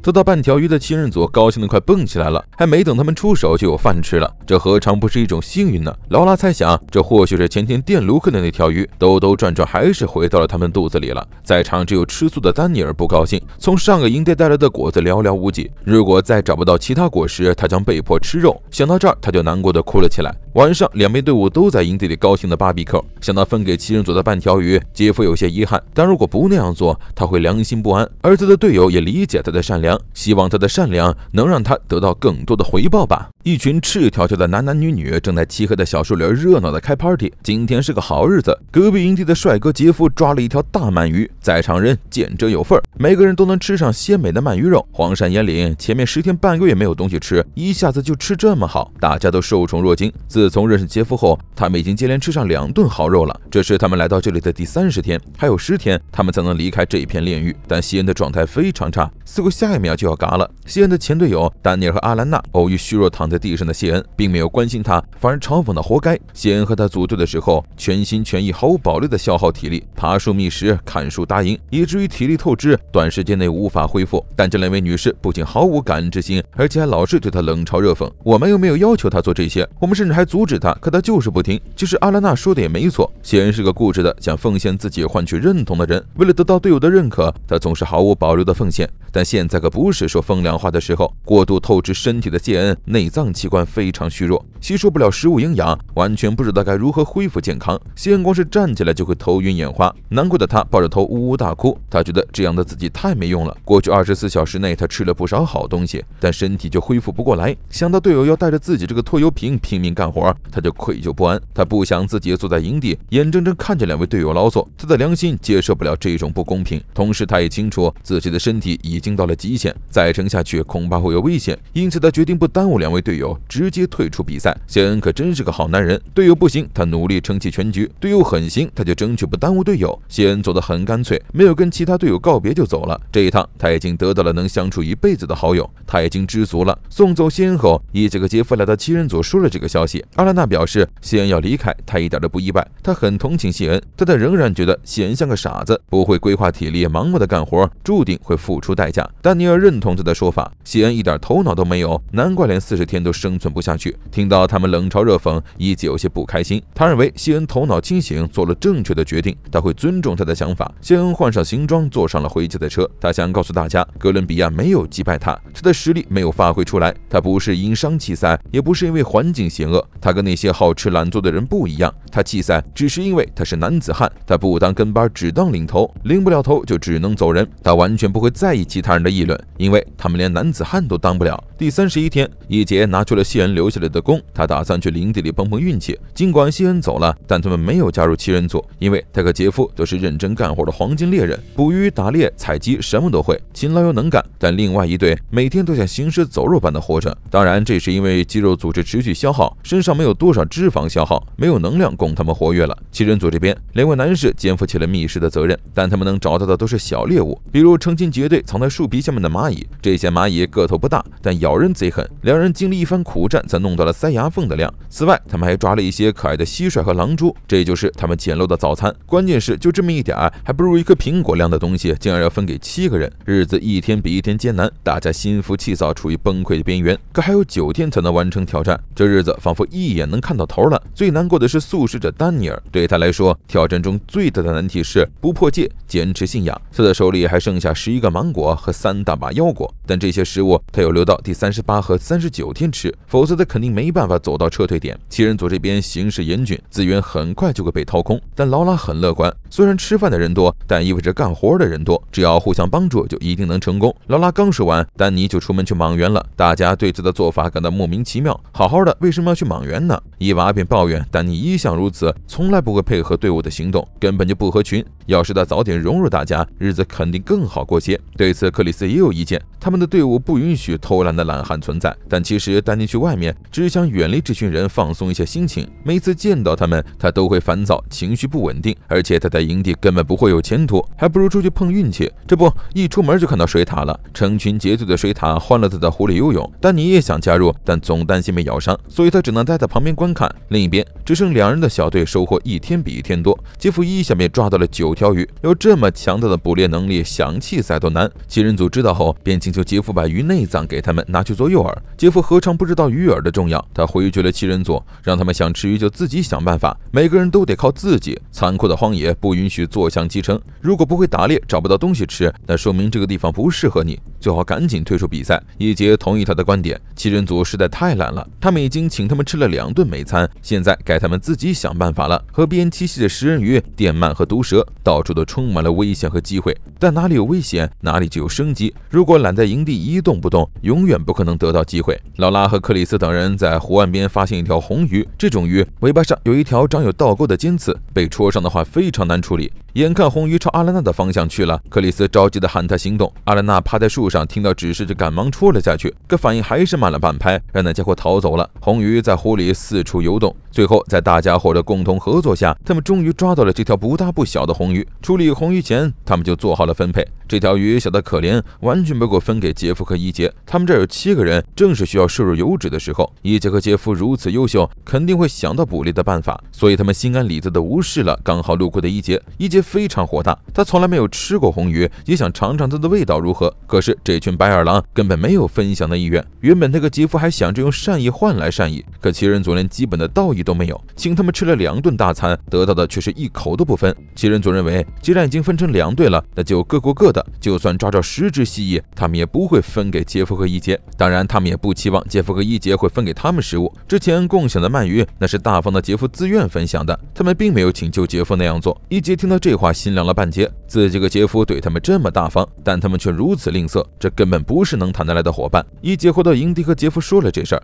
杰夫安慰他别想太多，人越相处越了解。在饥饿和危机时，就会露出真面目。他也不奢望七人组合回报，只能惋惜自己之前太大方了。晚上，克里斯还在回忆那条红鱼的鲜美，他很喜欢肥美的红鱼肉，但是分成七份，每个人就没多少，所以他计划明天去支流看看，希望能抓到鳗鱼。天亮后，丹尼主动去湖边打水，他前脚刚走，其他队友便开始议论他，他们觉得丹尼很会偷懒，总是挑最轻松的活做。克里斯尤为不满，他每天早上都打水烧水，每天累得没时间补眠。晚上，他们队轮流起来加活，他。丹尼除外，这一个星期丹尼都没有看过货，才决定找丹尼谈一谈劳动分配的问题。克里斯跟上丹尼，直白说他总不能跟大家一起干活的事。丹尼委屈极了，但还是按照克里斯的要求回到队伍，跟大家道歉。不过他道歉的理由是，他让大家以为他在偷懒了，言下之意是他有在为团队想办法。但队友对他的独处很不满，没有为团队带来利益，那就是在偷懒。伊娃直言不信任丹尼，因为丹尼从来没拿出一点成绩。丹尼觉得自己为了完成这次挑战已经尽力了。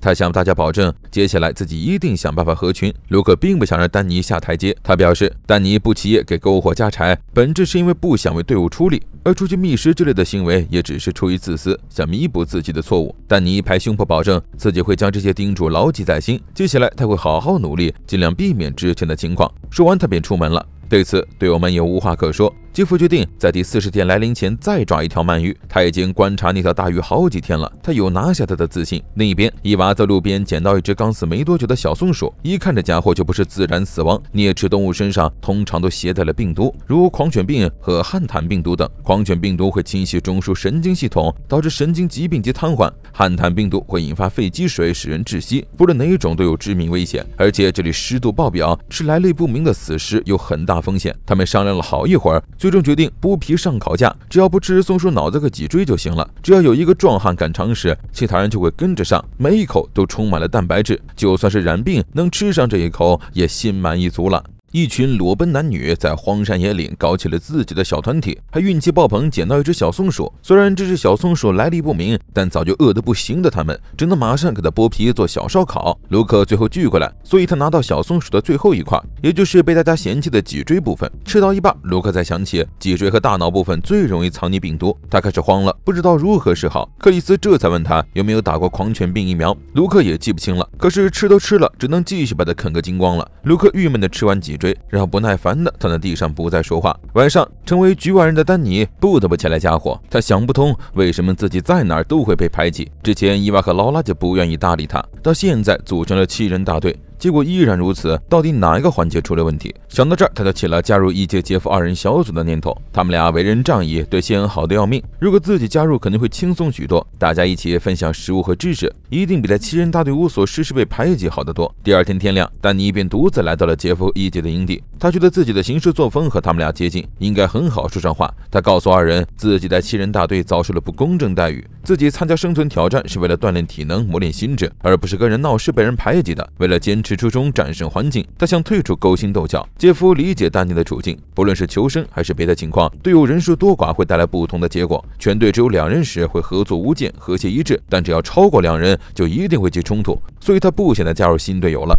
不过他很欣赏丹尼，他希望丹尼可以坚持这样的行事风格，保持对求生的热爱。同时，他承诺会在必要时为他提供协助。听到这番话，丹尼很是开心。到这里这么久，总算听到二人暖心的话了。送走丹尼后，一杰的发表自己的看法。他和杰夫想的一样，四十天的求生挑战本就残忍如炼狱，大可不必这样勾心斗角。有那时间，不如多去外面转转，寻找猎物。下午，一杰又背着弓箭出发寻找猎物了。眼见的他在路边看到了一条近两米长的鳄鱼。如果能搞定这么大的家伙，接下来三四天都有着落了。一杰取出箭，瞄准鳄鱼射了过去。虽然鳄鱼距离他只有七八米远，但准头还是差了点。另一边，杰夫来到湖边继续钓鱼，鱼钩被卡住了，没法动弹。但他一一抬眼就看到一条一点五米的鳗鱼。杰夫上次被电出心理阴影了，但为了自己的队友能继续活下去，他豁出去了。他用力插中鳗鱼，然后大声呼喊一姐来帮忙。但一姐外出狩猎，并没有立即赶来。最先来到湖边的是七人大队的克里斯。克里斯在旁边巡视了很久，但杰夫完全不想让他插手。见杰夫不想让自己帮忙，克里斯心里有些不爽。这么说，这顿大餐完全没有自己的份儿了。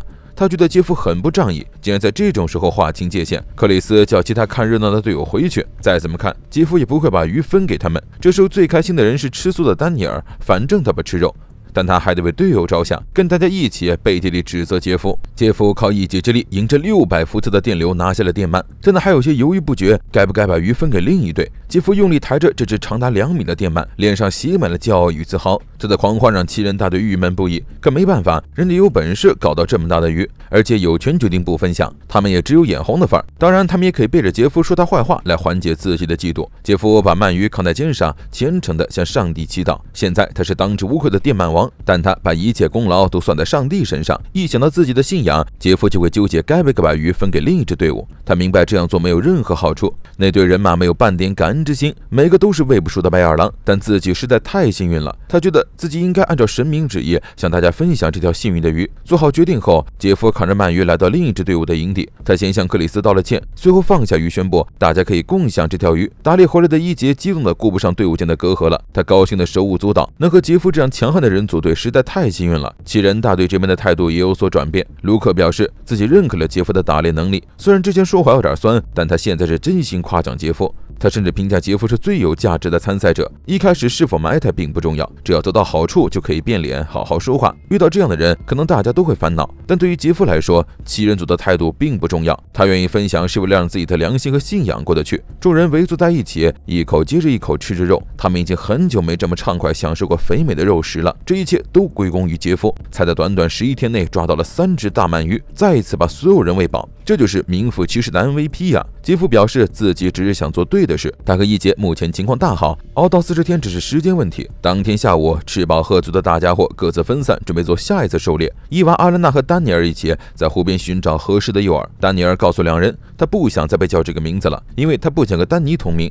伊娃和阿兰娜明白他的顾虑，谁想和讨厌的人同名呢？他们和他一样不喜欢丹尼，尽管他们尝试了解他，给他表现的机会，但丹尼实在难以捉摸。到现在，大家都无法与他正常交流，不喜欢他也情有可原。他们猜想丹尼可能心里有病，所以才这么爱说话。或许他有反社会人格，大概跟谢恩差不多。他们觉得丹尼就该跟谢恩一对，而不是非要留在这里占大家的便宜。但他们都没想到，在他们说这些坏话的时候，丹尼在背后的小树林里听完了全部。丹尼不明白自己到底哪里招惹了他们。总之，他不想最后九天还被负能量包围。他觉得继续留在这里毫无意义，现在他只想回家。晚上，丹尼毫不客气地揭发了队友排挤他的事实。他想问清楚为什么要集体排挤他。如果你们想让我走，那就现在说清楚。劳拉最先开口，他认为丹尼的所作所为对不起他们的信任。克里斯觉得丹尼一开始来投靠的时候就表现得不真诚，他觉得自己没道理浪费精神帮助他。现在他连和丹尼说话都费劲儿，所以他直接问丹尼为什么不弃赛。丹尼没有回答，而是拿起棍棒，抱着一堆柴火离开了。光是求生挑战就已经非常艰难，还要承受队友的精神折磨。继续留在这里不会有好结果。阿兰娜指责丹尼不合群，也不认错，顺便夸赞其他队友人好又善于求生，还安慰他们：丹尼离开正好走了个拖油瓶而已。丹尼独自找地方生活，艰难的过夜。听到隔壁营地传来的争吵声，杰夫开心的笑了。一群饥饿的队友共同求生，势必面临众多问题。一旦矛盾激化，就会搅成一滩烂泥。他很庆幸自己跟那滩烂泥没有一点关系。独自在丛林躺了一宿的丹尼，尼一觉醒来就开始哭哭啼啼。这是他第一次遭到了集体排挤。在他哭泣时，偶然听到了小动物哼唧的声音。他循声找去，找到了一只被蛇咬住前爪的青蛙。他觉得老天是在暗示自己，他不愿意为了完成四十天挑战而伤了自尊，而且这里没有他发挥能力的空间了，所以他决定弃赛。丹尼向伊杰和杰夫告别后便离开了。对于他的离去，伊杰觉得很可惜。在他眼里，丹尼是个坚强的好苗子。他原本以为丹尼会撑到最后，而这。所有的根源都在那些嚼舌根的队友。卢克觉得丹尼选择离开是正确的选择。这里没有和他在同一个世界的人，他作为局外人，只会让情况变得更糟。丹尼很清楚自己体力上佳，身体状况良好，但情绪崩溃的他无法带着破碎的心灵走到最后，还不如现在就回家。转眼剩下八人就熬到了第三十七天，一杰感觉自己的身体走到了低谷期。最近他压力大的睡不着，现在他只想着和杰夫前往获救点，早日脱离这个鬼地方，还有那群奇怪的人。杰夫也有。同样的想法，不过他有些担心。其他人的安危。六人小队每天都出门觅食，但结果总是不如人意。劳拉想回家的情绪达到了巅峰，他表示这四十天都没有吃到美食，身体早就撑不住了。要是有毫不费力就能吃到的食物就好了。看来他已经完全忘了杰夫三次送来的鳗鱼大餐了。几人在皮纳拉湖畔绕了大半圈，才终于看到一只红鱼。他们决定像上次一样，把红鱼赶到角落里寻找下手机会。可红鱼接连几次与他们擦肩而过，没有插住鱼的卢克破了大防，他愤怒地丢掉了棍棒，又扭头安慰自责的劳拉。被鼓励的劳拉正打算振作起来，突然感觉身上被溅了一些水，抬头看，才发现树上挂着一只猴子，正在朝他撒尿。劳拉觉得自己是个不折不扣的苦命人，没找到食物就算了，竟然还被野猴子欺负，这破地方他一天都不想待了。几人灰心失意地回到营地，卢克刚停住脚步，就感觉到一阵眩晕，现在他的体力完全透支，低血压时常发作，他也说不好什么时候会突然晕眩过去。他还能拖着这样的身体一路走到获救点吗？荒野求生的时候，低血压犯了该怎么办？在这荒山野岭待了三十来天后，卢克感觉身体已经被掏空，每次起身都会有股强烈的眩晕感，让他恍恍惚惚不知所措。他艰难地拖着这样的身体走动，更别提干活了。现在只能靠这群能干的队友带他完成任务了。另一边，倔强的杰夫和一杰两人正在河岸边寻找猎物。眼尖的杰夫看到了一只鳐鱼。他眼疾手快地抄起棍棒一捅，成功获得大餐。他是当之无愧的生存之王。他们的伙是和隔壁大部队形成了鲜明对比。杰夫节节顺利，而隔壁总是出师不利。虽然听起来很可怜，但杰夫总忍不住想向他们炫耀一番。他提着鳐鱼从他们面前经过，这些人口水都快滴地上了。但现在杰夫不可能再与他们分享食物了。杰夫曾跟他们分享了三只大鳗鱼，然而他们回报给他的只有几只小蜥蜴，所以他决定两支队伍各自努力，凭实力。吃饭，这只鳐鱼足够他和一杰美美的吃上一顿。他不是故意抹黑另一对，但很显然，一杰和他的状态远胜他们。第三十八天，天刚亮，杰夫开始和一杰筹备撤离计划。他们必须安全无误地到达获救点。首先，他们得穿过皮纳拉湖的危险水域，再穿过炽热火山岩地，来到更宽广的河流。紧接着，又是疲惫的水道穿越之行。来到一座小岛后，第四十天时，会有人在这迎接他们。迈向获救点的八公里之行十分艰难，不出意外也，要。花上两天时间。而且路途遥远，非常消耗体力，这意味着他们必须在出发前吃饱喝足，补充能量。杰夫担心急流的问题，穿越水道速度越快，就越不容易被水冲走，相对的需要的能量也越多。同时，他们还需要担心另一队的状况。如果他们一同启程，两支以上的队伍过河，每个人的体力高下立见，势必会出现拖油瓶。一杰不希望他们的成功葬送在那些每次都决策错误的人手中，因此他和杰夫不打算跟另一队同行，这样旅程会。轻松许多，而另一支队伍也在安排撤离计划。他们打算在第三十九天尽早出发。他们刚拟定计划，杰夫便来通知他们。他只和一杰结伴同行。听到这话，六人组脸都黑了。杰夫不知道他们什么时候启程，于是笼统地说：“我们启程可能比你们更晚。”说完便告辞了。卢克觉得这俩人有些莫名其妙，不明白他们为什么非要来告别？难道是专程拉仇恨的吗？克里斯认为杰夫是在挑衅。他们话里话外都表明不想跟弱者一起，不想被拖累。这话让其他人都很不爽。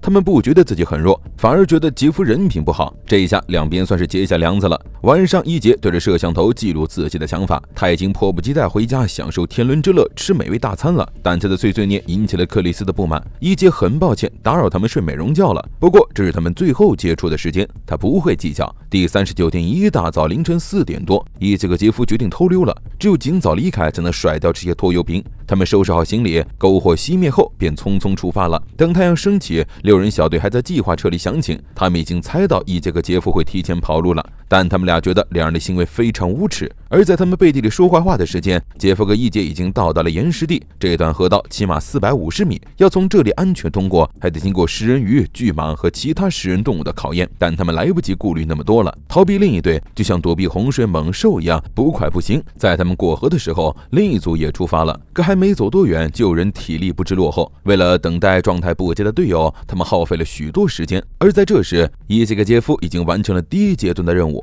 他们穿越河道，来到小树林，开始在陡峭悬崖上攀岩。伊杰快速分析了方向，找到了最合适的路线。接下来，他们要艰苦步行六公里，穿越浓密丛林，走过灼烫的火山岩，抵达河畔。日头高照，石头表面被晒得滚烫。伊杰尽量放轻步子，但仍感觉像走在铁板烧上一样。落后三公里的六人大队终于抵达皮纳拉湖畔。在这种河道前进，只能尽量缩短游泳距离。克里斯对自己的体力非常自信，他表示如果有队友不行，他可以及时救援。但他最担心的问题是，救了人之后，自己可能会被拖累。六人陆陆续续下水，可刚到湖里，情况急转直下，伊娃体力不支被甩到了后面，又被食人鱼猛咬了一口，情况不容乐观。但他们来不及感叹了，因为不远处有个模糊的怪物正在水面翻腾，几人火急火燎过河，光是这一节河道就耗费了大量的力气，这让六人有些迷茫。但等着他们的是光秃秃的峭壁。卢克身体非常虚弱，每爬几步，膝盖就会嘎吱错位。但现在没时间给他休息。他只能跟上队伍，走过灼烫的玄武岩块，继续前进。但接下来这六公里让他们望尘莫及，离终点还很远。可他们的脚已经不听使唤了。走在前面的伊杰和杰夫两人一边踩着同行仙人掌，一边赶路。经过四个小时的跋涉，他们终于抵达了奥里诺科河。两人站在峭壁上，放肆的呼喊。跟在后面的六人小队听到他们的呼喊声，心生厌烦，但又不得不承认，这两人的确有过人的实力。伊杰和杰夫看着奔腾的河面发愁，过河时河中危机四伏，所以他们决定坐一艘船乘船渡河。为此，他们四处收集漂流木，忙得不可开交。在他们收集材料时，六人大队已经追上来了。伊娃打断了杰夫的工作，声称要跟他谈一谈。他认为杰夫两人不应该跟他们划清界限，剩下的八个人都是王者，不存在谁拖累谁的问题。杰夫甚是委屈，他只说自己要和伊杰单独走，并没有说他们半点不是。为什么他们要不高兴？可在他说话时，伊娃已经泪流满面。伊娃解释自己是独生女，没有兄弟姐妹，所以把曾经和他出生入死的杰夫当亲弟弟看待。然而在这节骨眼上，他却嫌他拖累，这种做法让他心寒。听他这么说，杰夫无言以对。一杰看着伊娃，又看着杰夫，也不敢插半句话。杰夫心有愧疚，有些难受不安。难道计划会发生变故吗？克里斯熟悉冲浪和河流，因此他建议小队放弃坐船，坐救生艇渡河。人多力量大，一群人出动，迅速收集了一些青木，做出一张筏子。他们的计划是攀附在筏子上过河。正在忙活的一杰看到他们泡在水里欢声笑语的样子，感到后脊发凉。他们不会是来搞笑的吧？手攀着浮艇，六个人身体浸在水里，一旦遇到漩涡，失去对浮艇的控制，一定会全军覆没。他很好奇，这些人难道没有常识吗？明知道泰坦尼克号会沉，还买票上船吗？但六人组对此心满意足，他们决定在此休整一晚，等天亮再过河。而他们出去找竹子的时候，却偶遇了一只鳄鱼。劳拉当机立断，制定了完美的捕猎计划。他让其他人守在前路，自己绕后追赶鳄鱼。在六人的合作下，他们终于抓到了这只可爱的小鳄鱼。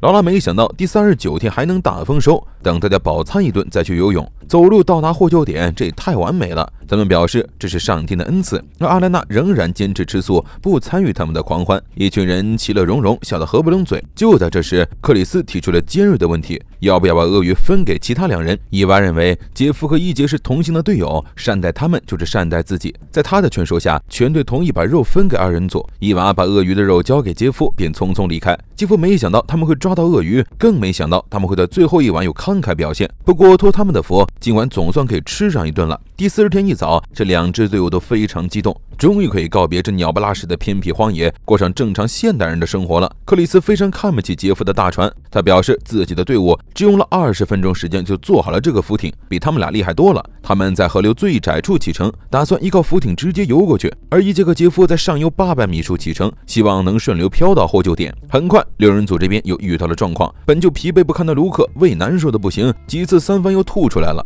但更糟的是，在他们不远处有一只游泳的动物，六人胆战心惊。看了半天，才发现那是只活跃的江豚。几人齐心协力，一起登水，终于来到了小岛上。可伊杰和杰夫从上流飘过头，恐怕没体力再修正路线了。两人互相打气，奋力前进，终于来到了岸边。而在他们前面八百米处，疲惫的六人大队正蹒跚前往获救点。沙滩上的沙子被晒得滚烫，在上面行走极其艰难。但当他们看到河面上开来的真枪实弹的救援队后，便顾不上脚底的疼痛，开始奋力疾跑了。落后的伊杰和杰夫二人在沙滩上走了半天，才终于看到了来。迎接他们的救援队，两人脑袋发热，全速冲进河里，终于搭上了回去的救援船。这一段旅程有多艰苦，大家都看在眼里。可是墨鱼的六人大队优先到达获救点，的确让人有些不爽。但没办法，运气也是实力的一种。不过看完全程挑战的大家都很清楚，这十二个人中谁才是最有实力的最强王者。